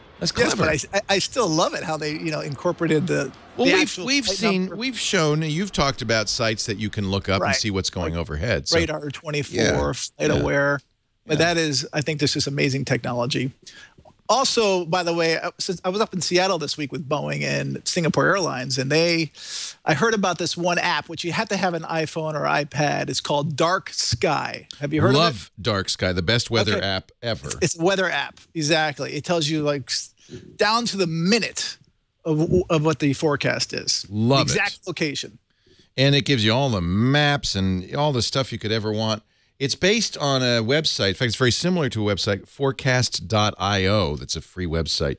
So if you don't have a smartphone and you want to get the same forecast.io, you want to get some of the same information, uh, forecast.io is uh, is very similar. It's not as pretty. I mean, Dark Sky does so many cool things. So many cool things. it's 399 Yeah. and um, yeah, I just they, I heard them someone talking about it, so I wrote it down. I just think, you know, it makes me want to uh, get an iPad. Actually, I'll, my, I'll just grab my wife's. There's a, you know, it's funny if you're not if you're not uh, if you don't have an iPad, sometimes you do feel like there's a certain they call it FOMO, fear of missing out. There's certain things that you just you just can't do. Well, you know, I had I had a Windows phone, which I you know I love the the camera, but it just does not have the apps. So I bought the Android a couple weeks ago, and but still, you just can't get all the apps like you can on. You know what? You should do like I do. You should have all three platforms. I just can't Android, I can't be carrying it all around. I just don't like carrying. I still carry around. You know, for that Seattle Seahawks parade, I brought my Windows phone around, but you know, you really, I'm I'm tweeting from this thing. Yeah, that's a that's a big phone too. Which one is that? This is the Sony. I, I, I talked about it. I oh bought yeah. it at yeah, yeah, yeah. T-Mobile for like Yeah. six hundred dollars. Yeah. I just don't let the camera is not that good. Mm. Yeah. And that's and that's a big part of my travels. And that's what spoils you with the uh, with the Lumia, the 10. tw- You have a 1020 too. I have a 1020. Yeah. And that's the best thing. Yeah, that's what that spoils camera, you. Yeah. The, the camera's insane. Yeah. So, um, what else we got going? How much time we got? Uh, I think, second. I think yeah, we got a second left. You got one more thing you want to do? Yeah. Have you heard of a product called F Lux? F dot Lux. F Lux. No, what is that? It's a. Um, I should talk about it next week. But Natalie went to the doctor one time because she was having a hard time sleeping, and I guess what they do is it you download this program and it changes the um, the color on your computer screen. Oh, I So have it- seen that. So it dims it at night. Yeah. So you're not. So, so they think the doctor said it's probably because you've been online too much because she's always online. It keeps you me. awake. In fact, you know, the last thing you should do, a doctor will tell you this when you get up, you know, in the middle of the night and you're trying to sleep and you can't, is whip out your phone or your tablet because that's like putting the sun in your eyes and your body goes, I'm awake. It's, it's morning. Right. So this takes care of it. Yeah, F.lux. If you go to justgetflux.com, you can download it for free. I agree. Very cool. Johnny Jet, johnnyjet.com. We'll see you next week. All right. Take Happy care. travels. Thank you. Yeah, F.lux adapts your computer display. I, you know, I know about it and I've never used it, but uh, Okay. I was wondering if you had it. yeah, and I, I mean, I, I've known about. it. We've recommended it. I just don't like my display to dim. Yeah. Me I want it to be as bright as possible all the time. Because I'm usually jet lagged and I'm up in the middle of the night working. Wake me up, baby. Yeah. But uh, So- yeah, we do. I do. I have heard of uh, Dark Sky, and it is really, uh, really stunning. All right. Good. Yeah, Well, I'm glad. Love Dark Sky. I'm gonna have to download it. Yeah, yeah, Just need to get my wife's passcode. yeah. All right, Johnny. Great show as always. Take care. Leo Laporte, the tech guy. 88 88 Ask Leo. That's the phone number. Our website, techguylabs.com. Once you're there, you can visit our chat room as well. Lots of lovely people helping me out there. My brain externalized. Marshall is in Albuquerque, New Mexico. Hey, Marshall, Leo Laporte, the tech guy. Hey, Leo. Good afternoon. How you doing? I'm doing great. Welcome. Hey, listen. I was on a. This kind of goes in conjunction with what you were talking about at the opening of the show about going to different music blogs. I was uh, LA Weekly music blog with Safari, and I clicked on a link to read about a band, and all of a sudden my Safari locked up, Uh, and I en- I ended up with this. Um, thing that says there's a new video player version installed. The new version now it's from www. www.appround.us, and it's locked everything up. I can't. oh, that doesn't sound Safari. good. Appround.us. I never heard of that one. Yeah, That doesn't sound good. So I'm just I'm going to LA video- Weekly. I'm going to go to music, and uh, it seems like it's okay. It might have now. You're on a Mac, which means it seems less likely that you're going to get bit by browser hijacker objects or something like that. These these are really almost always aimed at Windows, just because there's so many more Windows machines out there. Right. What do I do to? Uh, So does Safari work okay now or not? No, I, I did not click the OK button to do anything. I Yep. kind of left it locked up. So It, every time it, it probably, to, uh, by the way, was not aimed at a Mac. It was, you know, so understand that these uh, these sites are dumb. They don't know and they don't care. They will try to install a Windows program. It won't make any difference. Uh-huh. But uh, you're not infected. Okay, but So- when I when I go to uh, you know, if I go into and uh, crash, uh, force quit Safari, or if I try to go to Safari and go to reset reset Safari, actually it's grayed out. It won't even let me click on it. So then when I force quit and reopen, everything still opens the same with this uh, locked up thing. I can't click on. I can't close any tabs. I can't do anything with Safari right now. Yeah. How do I move Yeah, you want you want to you want to kind of reset Safari. What version of uh, of um, uh, uh, OS 10 are you using? Uh, let's see. It's uh, 10.75. And uh, when I try to throw Safari in the trash and download a new one, it says Mac. It needs it. it Yeah, you can't do that. It's a it's a built-in. Right. Yeah. So what, what what is there to do to um, not click this OK button and let it start downloading stuff? Uh, you know, I'm looking. The, the, the most obvious way to reset uh, Safari is to run Safari and say reset, but you can't do that It won't let me do it because right. you can't run it. So let me, you know, and sometimes holding down the Option key and opening an Apple program with the Option key hold down will reset it. It does not in this Okay. case. Um, I guess you're going to have to do this. Hold down the Shift key. Okay, somebody's saying the Shift key. Let's try it. Let's try it with the Shift key. Hold down the Shift key and open Safari. Because what we want to do is tell Safari, don't. Well, I don't know if that's going to work or not.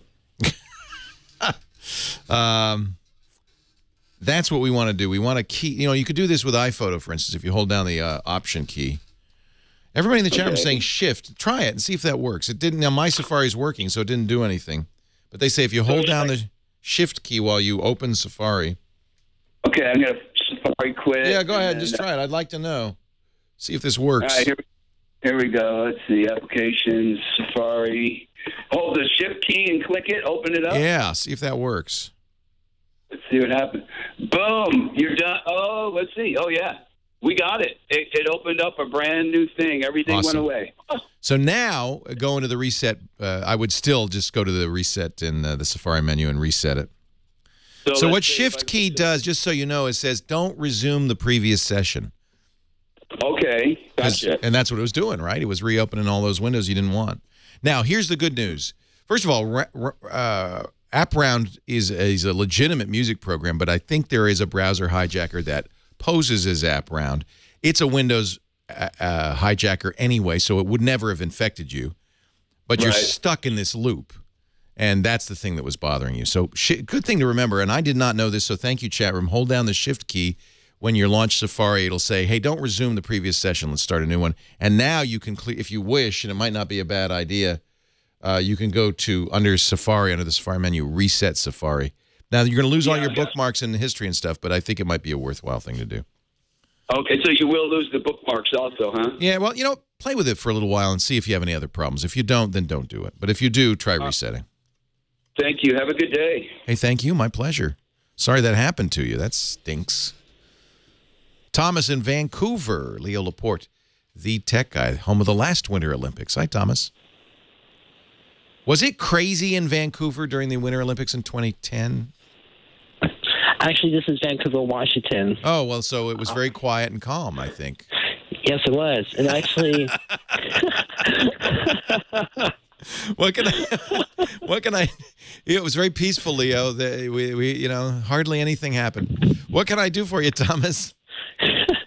I actually had plans to go um, to the Vancouver games, which is local to us, you know, but didn't work out. My main issue is Google Chrome. I've been having issues with websites popping up ads, and I want to have ad block to turn on. This didn't. Now, the first, okay, a couple of things to couple of things to know. First of all, ad blocker does not block all ads. Okay, and I've uh, Ad blocker has this thing which really annoys me called the acceptable ad initiative. And you as an advertiser can pay ad this is ad blocker plus can pay ad blocker to not block an ad. Oh. Wow. I have- that seems like a kind of a violation of their promise, doesn't it? Yes, it does. I also have two other software extensions installed on Chrome that uh, prevents pop-up block and pop-ups. I mean, Chrome does a Chrome Chrome does a pretty good job by itself. with that. Hmm. One of the problems, though, we've seen with Chrome, and Google knows about this and they're doing something about it as we speak, is there were a number of Chrome extensions which were sold, and then the people who bought them started to use them to replace ads on the websites that you visited. So not merely to pop up new ads, but to take over websites that had their own ads and put their ads on top of them. This is, of course, highly uh, unethical. It's probably not illegal, but highly unethical. Google has killed those extensions and will continue to do so when this comes up. Um, so, a couple of things. First of all, let me say something about ad blocking. I understand why people want to block ads. Many of these ads are very annoying. If I see another belly fat ad, I'm just going to plots. Uh, the punch the monkey, stuff like that. Advertisers have brought this upon themselves by being so annoying. But understand that there is, a, in my opinion, an ethical violation here. You're using sites, many of which, all of which are free. They're not, they're not free to run. They're not free for the people who make the sites. They're free for you to use. The way they make money on those sites is with advertising. And so when you run an ad block, you're, you're essentially saying, I want to use these sites, these free sites, but I don't want to see any ads. I don't want to pay for it. You pay for it not with money, but with your attention, with the ads. And I think that that's a violation of, that's an ethical violation. It's not illegal, just an ethical violation. If you don't like the ads on a site, stop visiting the site. Or write to the webmaster or the people who run the site and say, your ads are awful and I'm just, you know, you've got to take them off or whatever. But I, I'm not crazy about the idea of ad blockers. Now, there's also the issue of safety, and David Bix in our chat room points out that sometimes ads can have malicious software in them. This has been a problem lately uh, because many many sites sell ads in an automated fashion. They don't check them. But I just think you probably shouldn't run these ad blockers personally. Leo Laporte, the tech guy. Well, hey, hey, hey, how are you today? Hour three of the Tech Guy radio program is on the air. Our phone number, 888-827-5536, toll free from anywhere in the U.S. or Canada. Outside the U.S., please just use Skype. Won't cost you a penny. Skype out. Call 8888-ASK-LEO. Our uh, website is techguylabs.com. And uh, you'll find lots of answers to your questions there, by the way. Tech guy, Uh, please hold. Hello, tech guy, please hold. That's Heather Hammond, the phone ranger. She's taking your calls. Heather, who should I uh, should I talk to next? Speaking of, uh, let's talk to Bill in L.A. Let's do it. Hi, Bill Leo Laporte, the tech guy. Hey, Leo, how you doing? I'm well. How are you? Great. I just want to do one thing. I want to push a button and record this. I'm going to ask a technical thing, and I can't write it down fast enough. Well, don't worry now. Here's, here's the beauty part. You go to that website, techguylabs.com, and we put audio and video from the show up there. In a couple of days, you'll be able to, you don't have to record anything. You'll be able to go back. You'll even see, you know, the section. It'll say Bill in L.A., and you'll be able to go right to it and watch it again. Plus, we'll have text. That's cool. All right. So record if you wish, but it's not necessary. Well, I'm old tech, you know? Press, plus, old play guy and and record at the same time. Okay, go ahead. old guy and old tech. All right. If it was me, none of those Bordeaux's would, would ripen in time. Um, I had a question about something I saw in a catalog. And by the way, good Russian imitation you did. Thank you. I like uh, Spasiba. I saw a long range Wi Fi advertised in a catalog, which I can't find now, but it, would, it said it would pick up up to a thousand feet away. And I thought, gee, that'd be perfect for my little house here. I can take it when I'm traveling and not have to worry. Am I exposing myself to anything? Nope. It's the same as, uh, you know, if somebody's on your curb with your regular Wi-Fi. But I should point out this issue. Uh, you actually said it when you said it will transmit a thousand yards away, won't receive. So that so that's the problem is you have to have it on both ends. Oh. Think about it, right? You, you you can pick up a signal from a thousand feet away, but you still are transmitting with the same old transmitter, same amount of wattage and everything. It won't send it a thousand feet away, so it doesn't exp- it doesn't extend the distance a thousand feet. It just it just receives a thousand feet. You can buy Wi-Fi extenders that will extend it a great distance. In fact, I'll give you a couple of websites uh, where you can buy this kind of stuff. Great. But um, so tell me what you're what you're trying to do. Well, I'm just trying to. Uh, to tell you the truth, I'm, be, I'm being a little cheap here. I don't have a lot of money, and I've I've had uh, uh, internet prov- service providers before, but I don't use a computer that much, and to me, it's really not all that much worth it. Right. So once in a while, when I want to check out something or look up something, I, I need to go to a computer. But I'm not a big computer guy. Are you going to use this to borrow your neighbor's Wi-Fi? Well, there's places that have it up the street. Uh, not necessarily Free, free Wi-Fi, like the coffee shop down the street. Yeah, yeah. So Yeah, this won't help you because uh, it's kind of a one-way thing. You'll be able to see their signal, but you won't be able to send anything back to them. Which me, uh, translate that for me in terms of because I'm I don't know exactly what that means. Well, it's uh, a Wi-Fi uh, access point is a transceiver. It transmits and receives. Yes. Yeah, these antennas receive, but they don't transmit a thousand feet. Now we can we can extend it, but generally it requires the cooperation of the of the extending party. oh well, I don't want to do something that's unethical. It's Tell you the not. Yeah, it's not. Well, it's. uh, I guess you could say it's somewhat unethical, but e- even if it weren't, you still have to go to the coffee shop and say, "Excuse me, I'd like to. I'd like to extend your Wi-Fi network so I can. Re- I, I can reach it." Um, and they probably would t- have a maybe a qualm or two about that. So no, these Wi-Fi extenders will not do what you just described. They won't do what you want them to do. Oh, okay. Okay. We've played with a few of them. Uh, Somebody in the chat room is mentioning the super Wi-Fi USB adapter from Sea Crane. Uh, we played with it for a little bit. Does not. How far? A thousand feet? How far away is this place? It's probably about 500 feet away. Yeah, it won't even. It won't go that far. Does that mean I cannot? Uh, I can't use it to surf the web. I couldn't get my. No, you can't do anything with it. You could hack them. You can't. You could. You could see what they're doing. You can't do. and You can't talk to it. Here, I'm going to suggest you visit FreedomPop. Freedom Pop. Yeah, this is a free internet mobile service, ad supported. So for occasional use like yours, if you're cheap and you don't want to pay for it, um, you know it's not it's not going to be comparable in speed and performance to a uh, um, you know your own internet service provider, but it's pretty cool. It's now you do have to buy the device, but the data is free after you buy the device. So I think this is a very good choice. A lot of people use it. Um, it at freedompop.com. Uh, you can also you could buy a Wi-Fi uh, you know, device from your phone company, a my they call them MiFi, but that's going to be thirty or forty dollars a month. This is free once you buy the hardware. Probably a better way to go than to get some super duper spy antenna to reach the coffee shop down the street. I think that's they probably not might not appreciate that too much. Martin in Los Angeles, Leo Laporte, the tech guy. Hi, Martin. Oh, hi, Leo. I didn't hear my name. Hi. I have a Hi, welcome. Thanks. Love your show.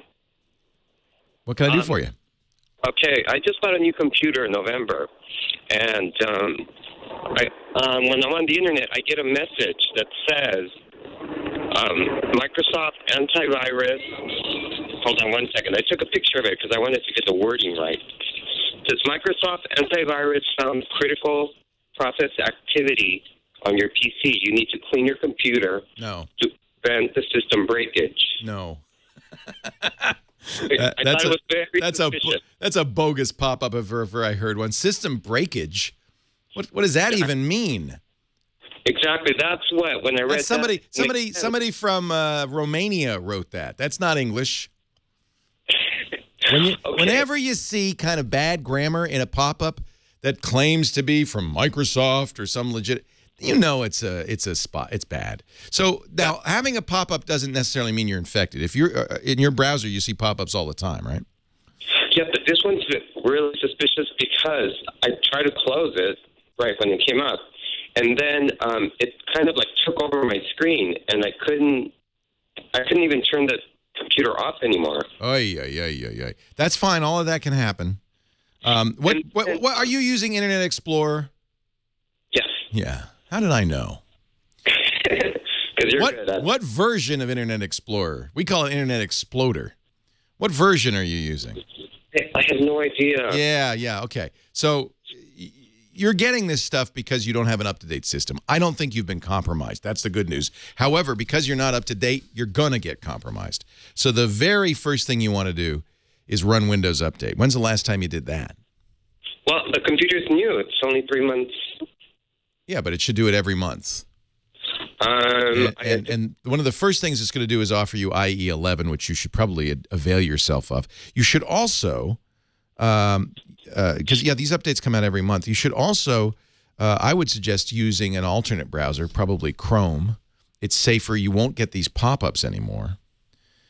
Um, and I'm not, you know, I know people use Internet Explorer because it comes with Windows. It's not a good idea in general. Use it if you have to. Um, but so run the Windows updates. Make sure they're turned on. They're automatically updating. You also want to update anything that goes on the internet. That means Flash. That means if you have Java, you you know you should make sure that's up to date. Adobe Reader, anything that can be launched by a browser should be updated. These are really critical. And then I would go to google.com slash Chrome and download and use the Chrome browser. You, this First of all, the first thing that will happen is you won't see this pop-up anymore. Chrome blocks them.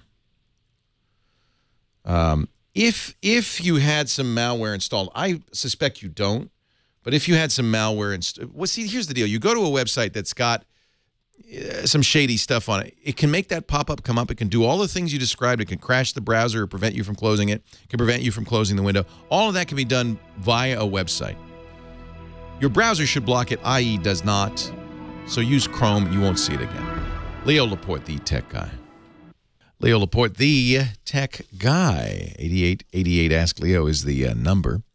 One more thing, and I, I uh, should have mentioned, um, if you're using Windows 8, you don't need to do this. Windows 8 has the uh, Microsoft Security Essentials built in.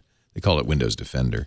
But if you're using any version of Windows prior to 8, Windows XP, Vista, um, Windows 7, you should download Microsoft Security Essentials and install that. It's free. Win at Microsoft.com slash security essentials.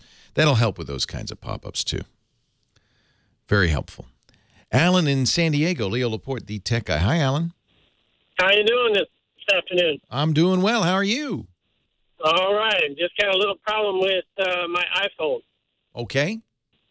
All right. My uh, son had an iPhone, and he decided to switch over to an Android phone. So he got an HTC One. Oh, good man. That's a nice phone.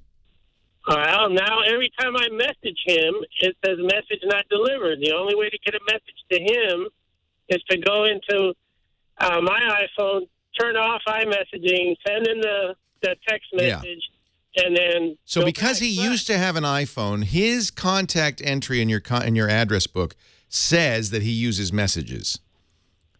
You got to go to not your not your entry, his entry, and uncheck messages, and then it'll start using SMS. This is a very poorly implemented, very poorly designed product from Apple that assumes everybody in the world uses Apple products. Right. So he, I have to go into his phone, No, your contacts. my contacts, his phone, and take off the iMessage. Yeah, tell him. There's a there's a check. I haven't used it in ages, but there's a checkbox. I'll have to look and see that says you can use iMessage with him. Turn that off. You used to because he used to have an iPhone. And if y'all have iPhones, it's nice because it doesn't use SMS. It uses the internet. But I got to tell you, uh, it really causes problems when somebody leaves the iPhone, which is probably Apple's intent. What? Right. They- What? You didn't want want to to? We're gonna. I'll show you. I'll show you. No one will ever be able to message you again. Uh, so it sounds like a simple fix then. Yeah, yeah. It's. Um, I'm trying to. I'm looking for my contact so I can tell you where it is. But I think if you look in his contact entry, there'll be a a, a box. Go to edit. That says. Let me see if it says something like you can use messages, and just say no. You can't use messages. And uh, then it'll just use SMS. Because it doesn't know. See, it doesn't know. He has no idea that he's left the iPhone.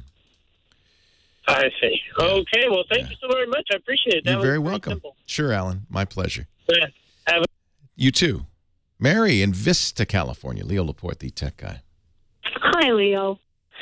Since my son installed the latest operating system on my iMac, it's running slow. My son very, very slow. ruined my computer. and he's not here to fix it. And I, frankly, I don't think he could. But what can a dump like me do to fix it? Well, I'm not sure why it's slow. So he, you were running Mountain Lion, and then he moved you to Mavericks. Is that what happened? Yeah, it's Mavericks now. Yeah, and that, normally that's a fine thing to do, and it shouldn't actually slow your computer down. There have been some bugs with Mavericks, um, but slowing your computer down is not one of them. Maybe it's coincidental. I think it probably is. I think it probably is. So, um, you, you mean slows down how? Like uh, when you first turn it on, or Well, pretty much always. Once in a while, it'll be fast uh, like it used to be, but usually it takes a long time for anything to come up. My mail, the, uh, uh, yeah, Chrome, anything. Uh, it's it's probably very, several seconds, yeah. if not a minute or something. I mean, it's ridiculous. So, um, it you know, most likely it is coincidental, and it's fact your hard drive is starting to go. Okay. Um, that would be that would about the only thing that could account for that big a difference. There might be a small difference between Mavericks. How much RAM is in your system? Do you know? Yes, the RAM is. Would that be memory? Yeah. Okay, it says two gig, two gigabyte, eight hundred megahertz DDR2 Oh. SD RAM. That could be it. That's a little low. That's a little low. Well, could I go to the store and buy more memory? Yeah, or you could go online. How how uh, how old is that computer? Uh, it's it's old, eh, 2008. Yeah, you need you need to put uh, uh, four gigs. You need to double that amount of RAM. I think that might make a difference. Do you see the beach ball, the spinning beach ball, or does it just take a while? Oh yeah. Oh yeah. it- yeah, it's that beach ball. Oh thing. yeah, I see that all the Mhm. time. I hate that beach ball thing there. Um, yeah, I think uh, that's not a lot of RAM. Um, I do believe that Mavericks wants four gigs minimum. Okay. So that'd be the first thing I'd do. If that doesn't fix it, then I would try a clean install. So Okay. what he did is he just upgraded, which normally Uh-huh. is fine, but sometimes cruft left over from older operating systems can cause problems. So a clean install would be to drag the data off and erase the drive and start over. Okay. Now, do you? He could do that. He could do that, or a store could do that. Okay. Okay. So so it's, it's called a clean install. Clean install of Mavericks. Okay. For, so first I'll do the four gig thingy. Yeah, it's not too expensive. Now, somebody in the chat room is saying he uses Mavericks on his MacBook Air with two gigs and it runs fine. So Hmm. I don't know. That's a lot. That's not a lot of memory. I gotta say. Uh-huh. It, and it, so, in, in other words, it's hard for me to say exactly what's wrong. It could be the hard drive is a little flaky. Could be more RAM would make a difference. It certainly is a, on the low side of how much you want. Okay. Um, I believe it's below the minimum. Uh, and then finally, if none of that helps, a clean install might. Um, Okay. Yeah, and, and a store can do that for you. Getting more RAM, the Apple. You, you, are you near an Apple store? Yes, I am. Yeah, I'd take it to the Apple store. Say what's going on, and I think that they they will also have some good suggestions for you. Now, if they do a clean, or if I get a clean install, Back up your data first. right now I do have carbonite. So would that? Oh, you're fix- golden. Would that be fine? Yeah, I don't you're have golden. to take anything off, do I? No, no, you don't. Okay. All right. All right. Sounds easy. now. Sure, Mar- well, it's not completely easy. Your son, your son should have fixed this. He took, he installed and he took off. That's the problem with geeks. Beware geeks bearing gifts. I know it's a good thing we love them. You know, I do this to my mom all the time too. She's calling that other tech guy saying, "My son ruined my computer, and then he went back to California, and I don't know what to do." yep, that's my story. Yep. Her name's Mary too. So, mom, mom, is is this you? Leo Laporte, the tech guy. Bill in Thousand Oaks. Hi, Bill. Oh, wait a minute. I'm sorry. It's not Bill. It's uh, Satbir in Victorville, California. Hi, Satbir. Yeah, hi. Bill, you're next. Um, okay. Um, my problem is, I think you know, you already mentioned similar kind of problem. Uh, I have. Um, um, Hold on a second. Hold on. I, I knew I shouldn't have picked up. We got to take a break up here. Hold on. You're first out of the out of the barrel when we get through this uh, bottom of the hour here. Leo Laporte, the tech guy. Ladies and gentlemen, John Slanina has informed me that this show is not brought to you by my lovely voice, but in fact by Gazelle. Hey, you have an old iPhone, iPad, old uh, iPod, maybe a Samsung Galaxy S3, something you want to sell, get rid of so you can buy the new one? If you want to upgrade, you should know about Gazelle, G A Z E L L E dot com, the best place to sell your old gadgets and get cash. Couldn't be easier. And the thing I like about this is you get 30 days to pull the trigger. So go now, because I'll tell you what, this, this, is not, your old iPod's not gaining in value. Oh, it's an antique. You're going to love this Nano. It's not. If you've got an old iPod Touch and you think, I would like to get rid of this thing and maybe buy an iPhone, here's your chance. Because uh, you go there, you say, oh, that's in good condition, not perfect condition. Uh, no engraving, calculate the value, 77 bucks. Now, here's the deal. You don't have to do anything. You got 30 days to do something. In fact, what I do is go back and say, well, golly, if I get that for that old um, iPod Touch, what can I get for my old iPhone 5 on AT&T? 32 gigs, 200 bucks, 200 smackaroos. So here's the deal. Go and get all of your stuff. Empty out that drawer. You got an old BlackBerry lying around, they'll buy it. An HTC, LG, Motorola, Nokia, or Samsung phone, they'll buy it. Once you get all the stuff together, you can put it in, they will send, pull, pull the trigger then, you know, and they will send you a box, prepaid, postage paid. You pile it all in there, you send it to them, and then they send you money. It's kind of magical. They will send you a check or a PayPal credit if you need it right away. Or if you got, if you do a lot of Amazon, I would buy, I would get the Amazon gift card because they add uh, at five percent just right out of the box there. I guess they're returning their affiliate rebate or something. Gazelle.com. Do it today. It's the best way, risk free, to get cash for your gadgets. Free shipping too. All those offers good for 30 days. You know, Gazelle's paid more than $100 million to over 700,000 customers, just like you. Take advantage of it right now. Gazelle, G A Z E L L E dot com. Victorville, California. Satbir on the line. Hi, Satbir. Sorry I had to interrupt. Go right ahead. No problem. Okay. Um, what it is, I have Windows Ultimate as my operating system, and I do have Windows Essentials on it.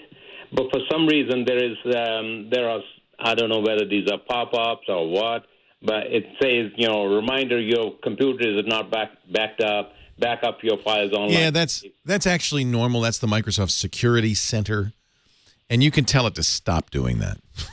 How, how could, how could if you go into the security center, you'll see, you know, it's in the little, it sits in a little system tray. It's got a little pennant, little flag on it. You right click on it, open the security settings, and you'll see the security center. You'll see in the settings there, you could say, don't bother me about that. There's a couple of things that bothers you about vi antivirus, keeping the antivirus up to date, backup, and system update, I think are the, th are the three. So uh, you can turn off any one of them. The only one that I wouldn't the part of the problem is unless you use Microsoft backup, it doesn't know. So you can be using Carbonite, for instance, and it'll still say you're not backing up. Well, you are, um, uh -huh. but you're doing you're not using a Microsoft solution. So no. I pretty routinely will turn those off. It's in the but security. There's, there's another um, message there. It says. Earth, and there's uh, earthquake detected in uh, nearby Victorville or something. really? I don't know what that is. uh, it's something else you installed. Uh, that's I don't think that's a, uh, built-in Windows feature. Right. Um, there's some. There are programs that will tell you when there's earthquakes. I don't know. Maybe Google Earth. I don't know what you have installed, but uh, so so I would guess that's probably also in the system tray. Those things are watching. Oh, okay. All the time, and it's, that one's probably harmless. I don't think any bad guy would would give you earthquake updates. So go to control panel and go to system security and. It's called uh, Security Center. Yeah. It's also it, it, you should in your you know in, you know you got taskbar at the bottom of the window in the lower right hand corner. They call that the little system tray. You should see a couple of icons there. One of them is a little flag. That's it. And you Oh, right okay. if you right click on that, uh, you can open the. That's probably an easier way to open it up. Oh, okay, okay. All right.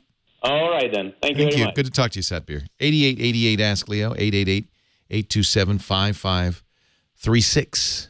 That's the phone number. Chat room, uh, you know, we were looking, because we, we, we I, I, I was talking earlier to a fella, his uh, son changed from an iPhone to an Android phone, and he can't get messages through to the kid because it, he's using Apple's Messages program. And Messages tries to use the internet, but it has, but it only works if you're talking to another iOS device. And apparently hasn't figured out that his son is no longer using an iPhone. Uh, I want to correct what I said because I think this is more accurate. Um, you do go into your contacts, your contacts, and you look at your son's entry. You can edit it. And apparently the key is, and this is a little more subtle and a little less obvious, you have a choice where you see the phone numbers of the kind of phone number. One choice is iPhone. If it says his iPhone number is this, and it probably does because it was an iPhone, change that to a regular cell phone or mobile phone. It will then say, oh, it's not an iPhone. Dumb. But I, I don't know any other way to do it, actually. It makes sense. It makes sense. Uh, 8888 Ask Leo, thank you, chat room, for that uh, update. So uh, make sure that you, and that's another thing, make sure you're using a phone number to text him, not a phone, not an email address and so forth. It's it, it, Apple really makes it a little sticky. They don't, you know, they don't want to make it too easy for you to leave the iPhone behind. Bill in Thousand Oaks, now you're on. Leo Laporte, the tech guy. Hi, Leo. Bill Jackson. How are you doing? I'm well. How are you, Bill? Thank you. Very good. And I have a question. I bought a Seagate uh, four terabyte external hard drive. I have two other computers that I want to do a mirror uh, backup. And is there a way to partition that four terabyte Seagate in order to accomplish that? I'm not Sure. quite sure how to do it. You could t- partition it. I wouldn't even bother with that. I just make four folders and uh, and do the mirror into those folders. Unless you're saying, how, how are you going to do the mirror? Are you going to use a, a, uh disk cloning program?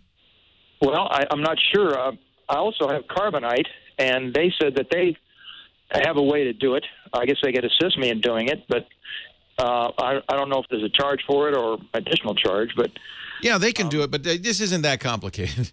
Uh, oh, okay. Yeah. Uh, So you what you need to do is you need to put a backup program on each of those four computers. Um, My recommendation: there are a number of programs that'll do this, but the, I, I gather that the idea is you have some data on one compu- on a computer that you want to mirror. You want to make sure the duplicate of that data is on a backup drive, right? And then you want to go to the next computer, do the same thing. Next computer, do the same right, thing. yeah. Yeah. It's my understanding that the mirror um, allows you to reload your programs too, right along with the data. Ah, that that's you, different. okay, so now if that's your goal, uh, that is in fact cloning the disk. It's not as good a backup strategy because you're you're making an exact copy of the disk, and every time everything cha- anything changes, you now need to make a new clone, back up the whole thing just to back up that one file. So generally, what I recommend is make a clone of of, of uh, the disk when you first get it set up with all your apps and the updates. Periodically, you'll want to update this and run a backup program to back up files that have been changed since the last clone. That way, restoring is a two-step process. You'll restore the clone, and then you'll restore the files that were changed subsequently. from Carbonite. Is that correct? You could use Carbonite or you can use any backup program since you have a local disk. Carbonite's not local. Carbonite's cloud backup, right? You would use it in addition to that. Uh, but you'd have to have a Carbonite account for each of those four computers. It might not be economical. It might be more sensible for you to I'm just sorry, maybe maybe you misunderstood. I have two computers that I'm two computers. be using. This. Same Yeah, thing. Yes, sir. Each needs a Carbonite account. Okay, but I do have uh, both. I have a Carbonite account. So Oh well, then you're golden. What do you? You don't even have to worry. You're already doing it. Now, Yeah, so okay, so let's talk about this clone thing because that's what Carbonite is not doing. So it is, and the problem is, let's say that hard drive in one of those computers died. To get it back to where it is today, you'd have to reinstall Windows, then you'd have to find all the app disks, reinstall those, then restore your data, and it could be a weekend shot. So it's very common, especially in business, but I do this too, to make a clone of that drive. Once you got the drive the way you want it, you can use a cloning program. There's lots of them. Um, the one that Steve Gibson, my hard drive guru, recommends is called Disk Image XL. Uh, I use a one called Drive Snapshot. We'll put links in the show notes to both of those. Okay. Um, so that you said disk disk image. Uh, disk image. Uh, let me give you the address for the website so you can. Uh, it's disk image X. M, maybe it's XML. That's it. Drive image. Sorry, my brain Oh, is not as good as it was. Drive image. It's from runtime.org. And what it will do is it will um, make a clone, kind of like a freeze dried clone of your hard drive, including the operating system, all the apps, all the updates, everything into a single file. That file you can make onto, in fact, it's a very good idea to make it onto the external drive. You can do that for both your computers. And then if one of the computers dies, you can restore that clone. Now, this isn't going to work on a different computer because you're also backing up drivers, all the all the hardware specific stuff. So this image is made specifically for that computer. Okay, and I will be able to partition um, so that I can use half the the, the external hard drive. Then Uh, you don't have to partition it because um, uh, it will make a file. So you just back up that file. There's no need to partition. Okay, You All just right. it, so there'll be one. You know, you can name it. Hey, this is clone from uh, you know February eighth of uh, computer one, and name it that, and then you restore that, and the software to restore it. We'll keep on that external drive as well. It'll see speed things up a little bit. and that's runtime.org. Runtime.org. It's a good one. There are many of these, but that's a good one. Great. Runtime.org. You're a genius. I appreciate your help. No, just just an old man who's done this a few times. We used to do this on the TV show many years ago. Uh, we did a live uh, computer help show uh, called The Screensavers on Tech TV, and uh, of course, it's live. If a computer dies, you need to get it back as quickly as you can. With these kinds of clone images, you literally can get it back during a commercial break. That's sweet. Leo Laporte, the tech guy. If the creeks don't rise and God is willing, the Tech Guy Show will be back again next time right here on this here station. Leo Laporte, the tech guy. Last segment of the show. Now, I you probably heard a fairly high pitched noise during the last call. I don't know what I didn't know what that was. We had a little conversation here. Apparently, all the phones in the building went off. We're having some severe rain. By the way, Dickie D is Wow. here. Dick DeBartolo, the Gizwiz. And I didn't realize this. I, I, I, I'd seen it in newer phones, and I guess they're now putting them in all the phones. These uh, emergency alert capabilities.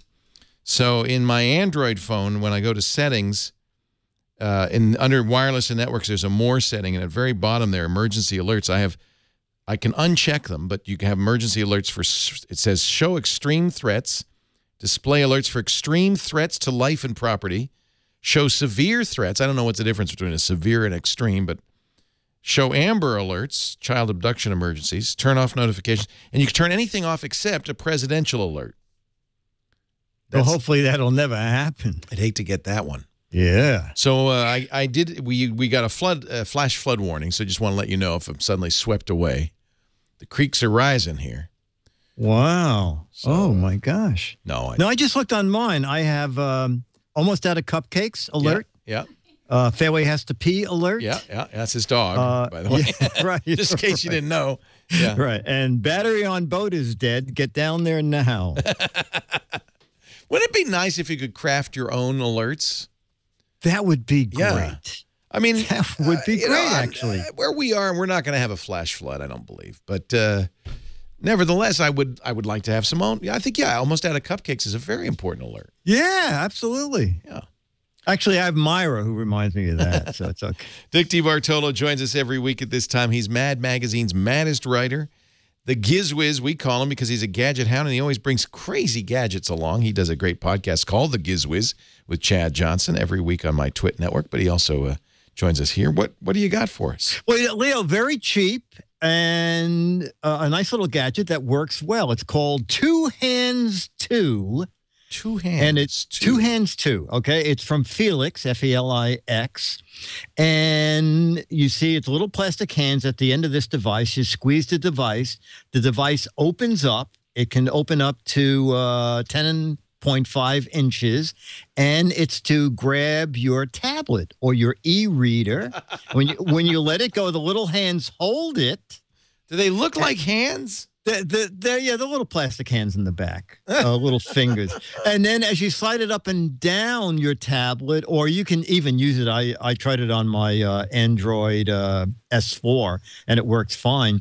And as you slide it up and down the tablet, it will either make the tablet tilt. You can stand the tablet Oh, this is a straight good idea. Or you can slide it up. So it has an infinite range of angles. That's Exactly. Always the problem with these stands. It has just one angle or two. Yes. This is yeah. nice. This and it's under 20 bucks.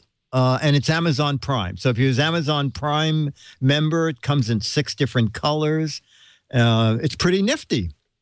Uh, Felix Two Hands Two. Now, is this plastic or is it metal? It's pla- it's plastic. It's Yeah. plastic with it looks like a, Looks like a, hair stain- clip, kind of.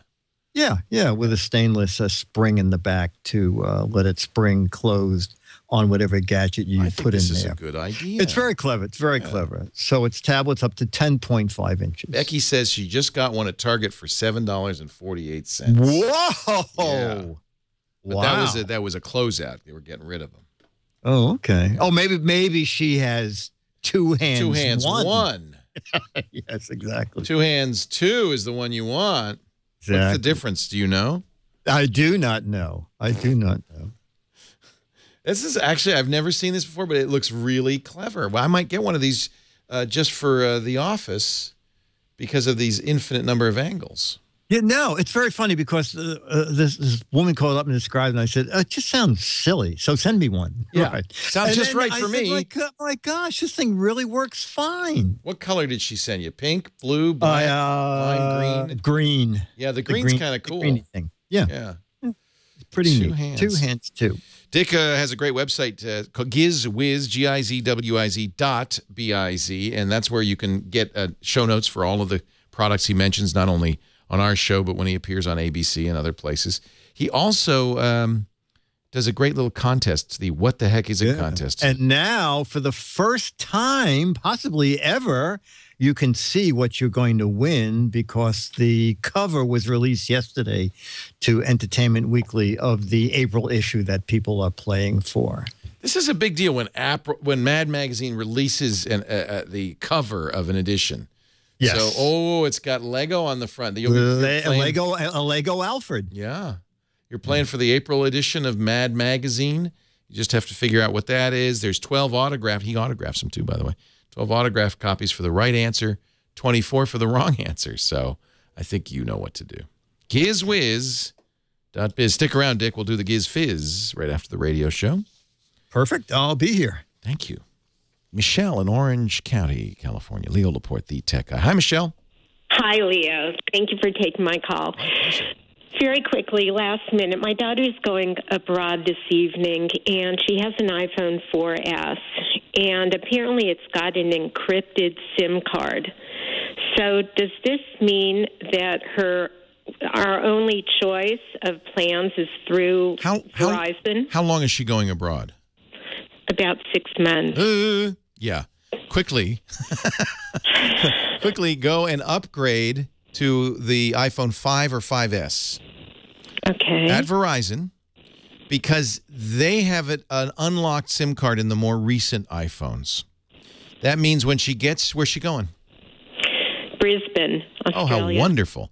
When she gets to Australia, she can buy a SIM card to pop in there. It'll give her an Australian number, but it'll also give her data there. And it's much more affordable to do that than to say, hey, Verizon, I want international data. They charge you 25 bucks for every 100 megabytes. It's ridiculous.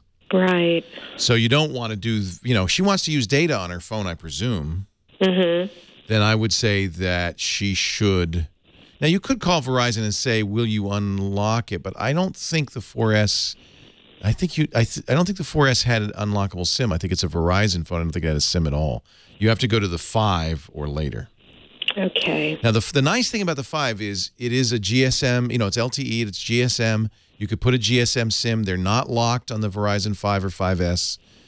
And so she can get an Australian SIM card. The other thing she could do is you get a cheaper phone. Do you want her to have data? Does it does that matter? Um, yeah, she's doing semester abroad. She needs. Yeah. I would you know get you could you could go get an unlocked world phone.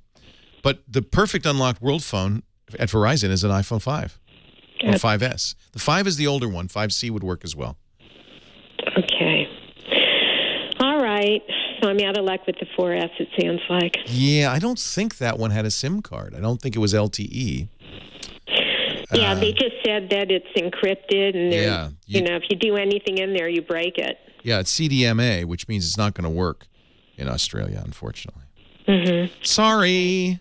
That's okay. Thank you so much. All right, take care. Have a great have tell her have a great time. She's lucky. That sounds wonderful.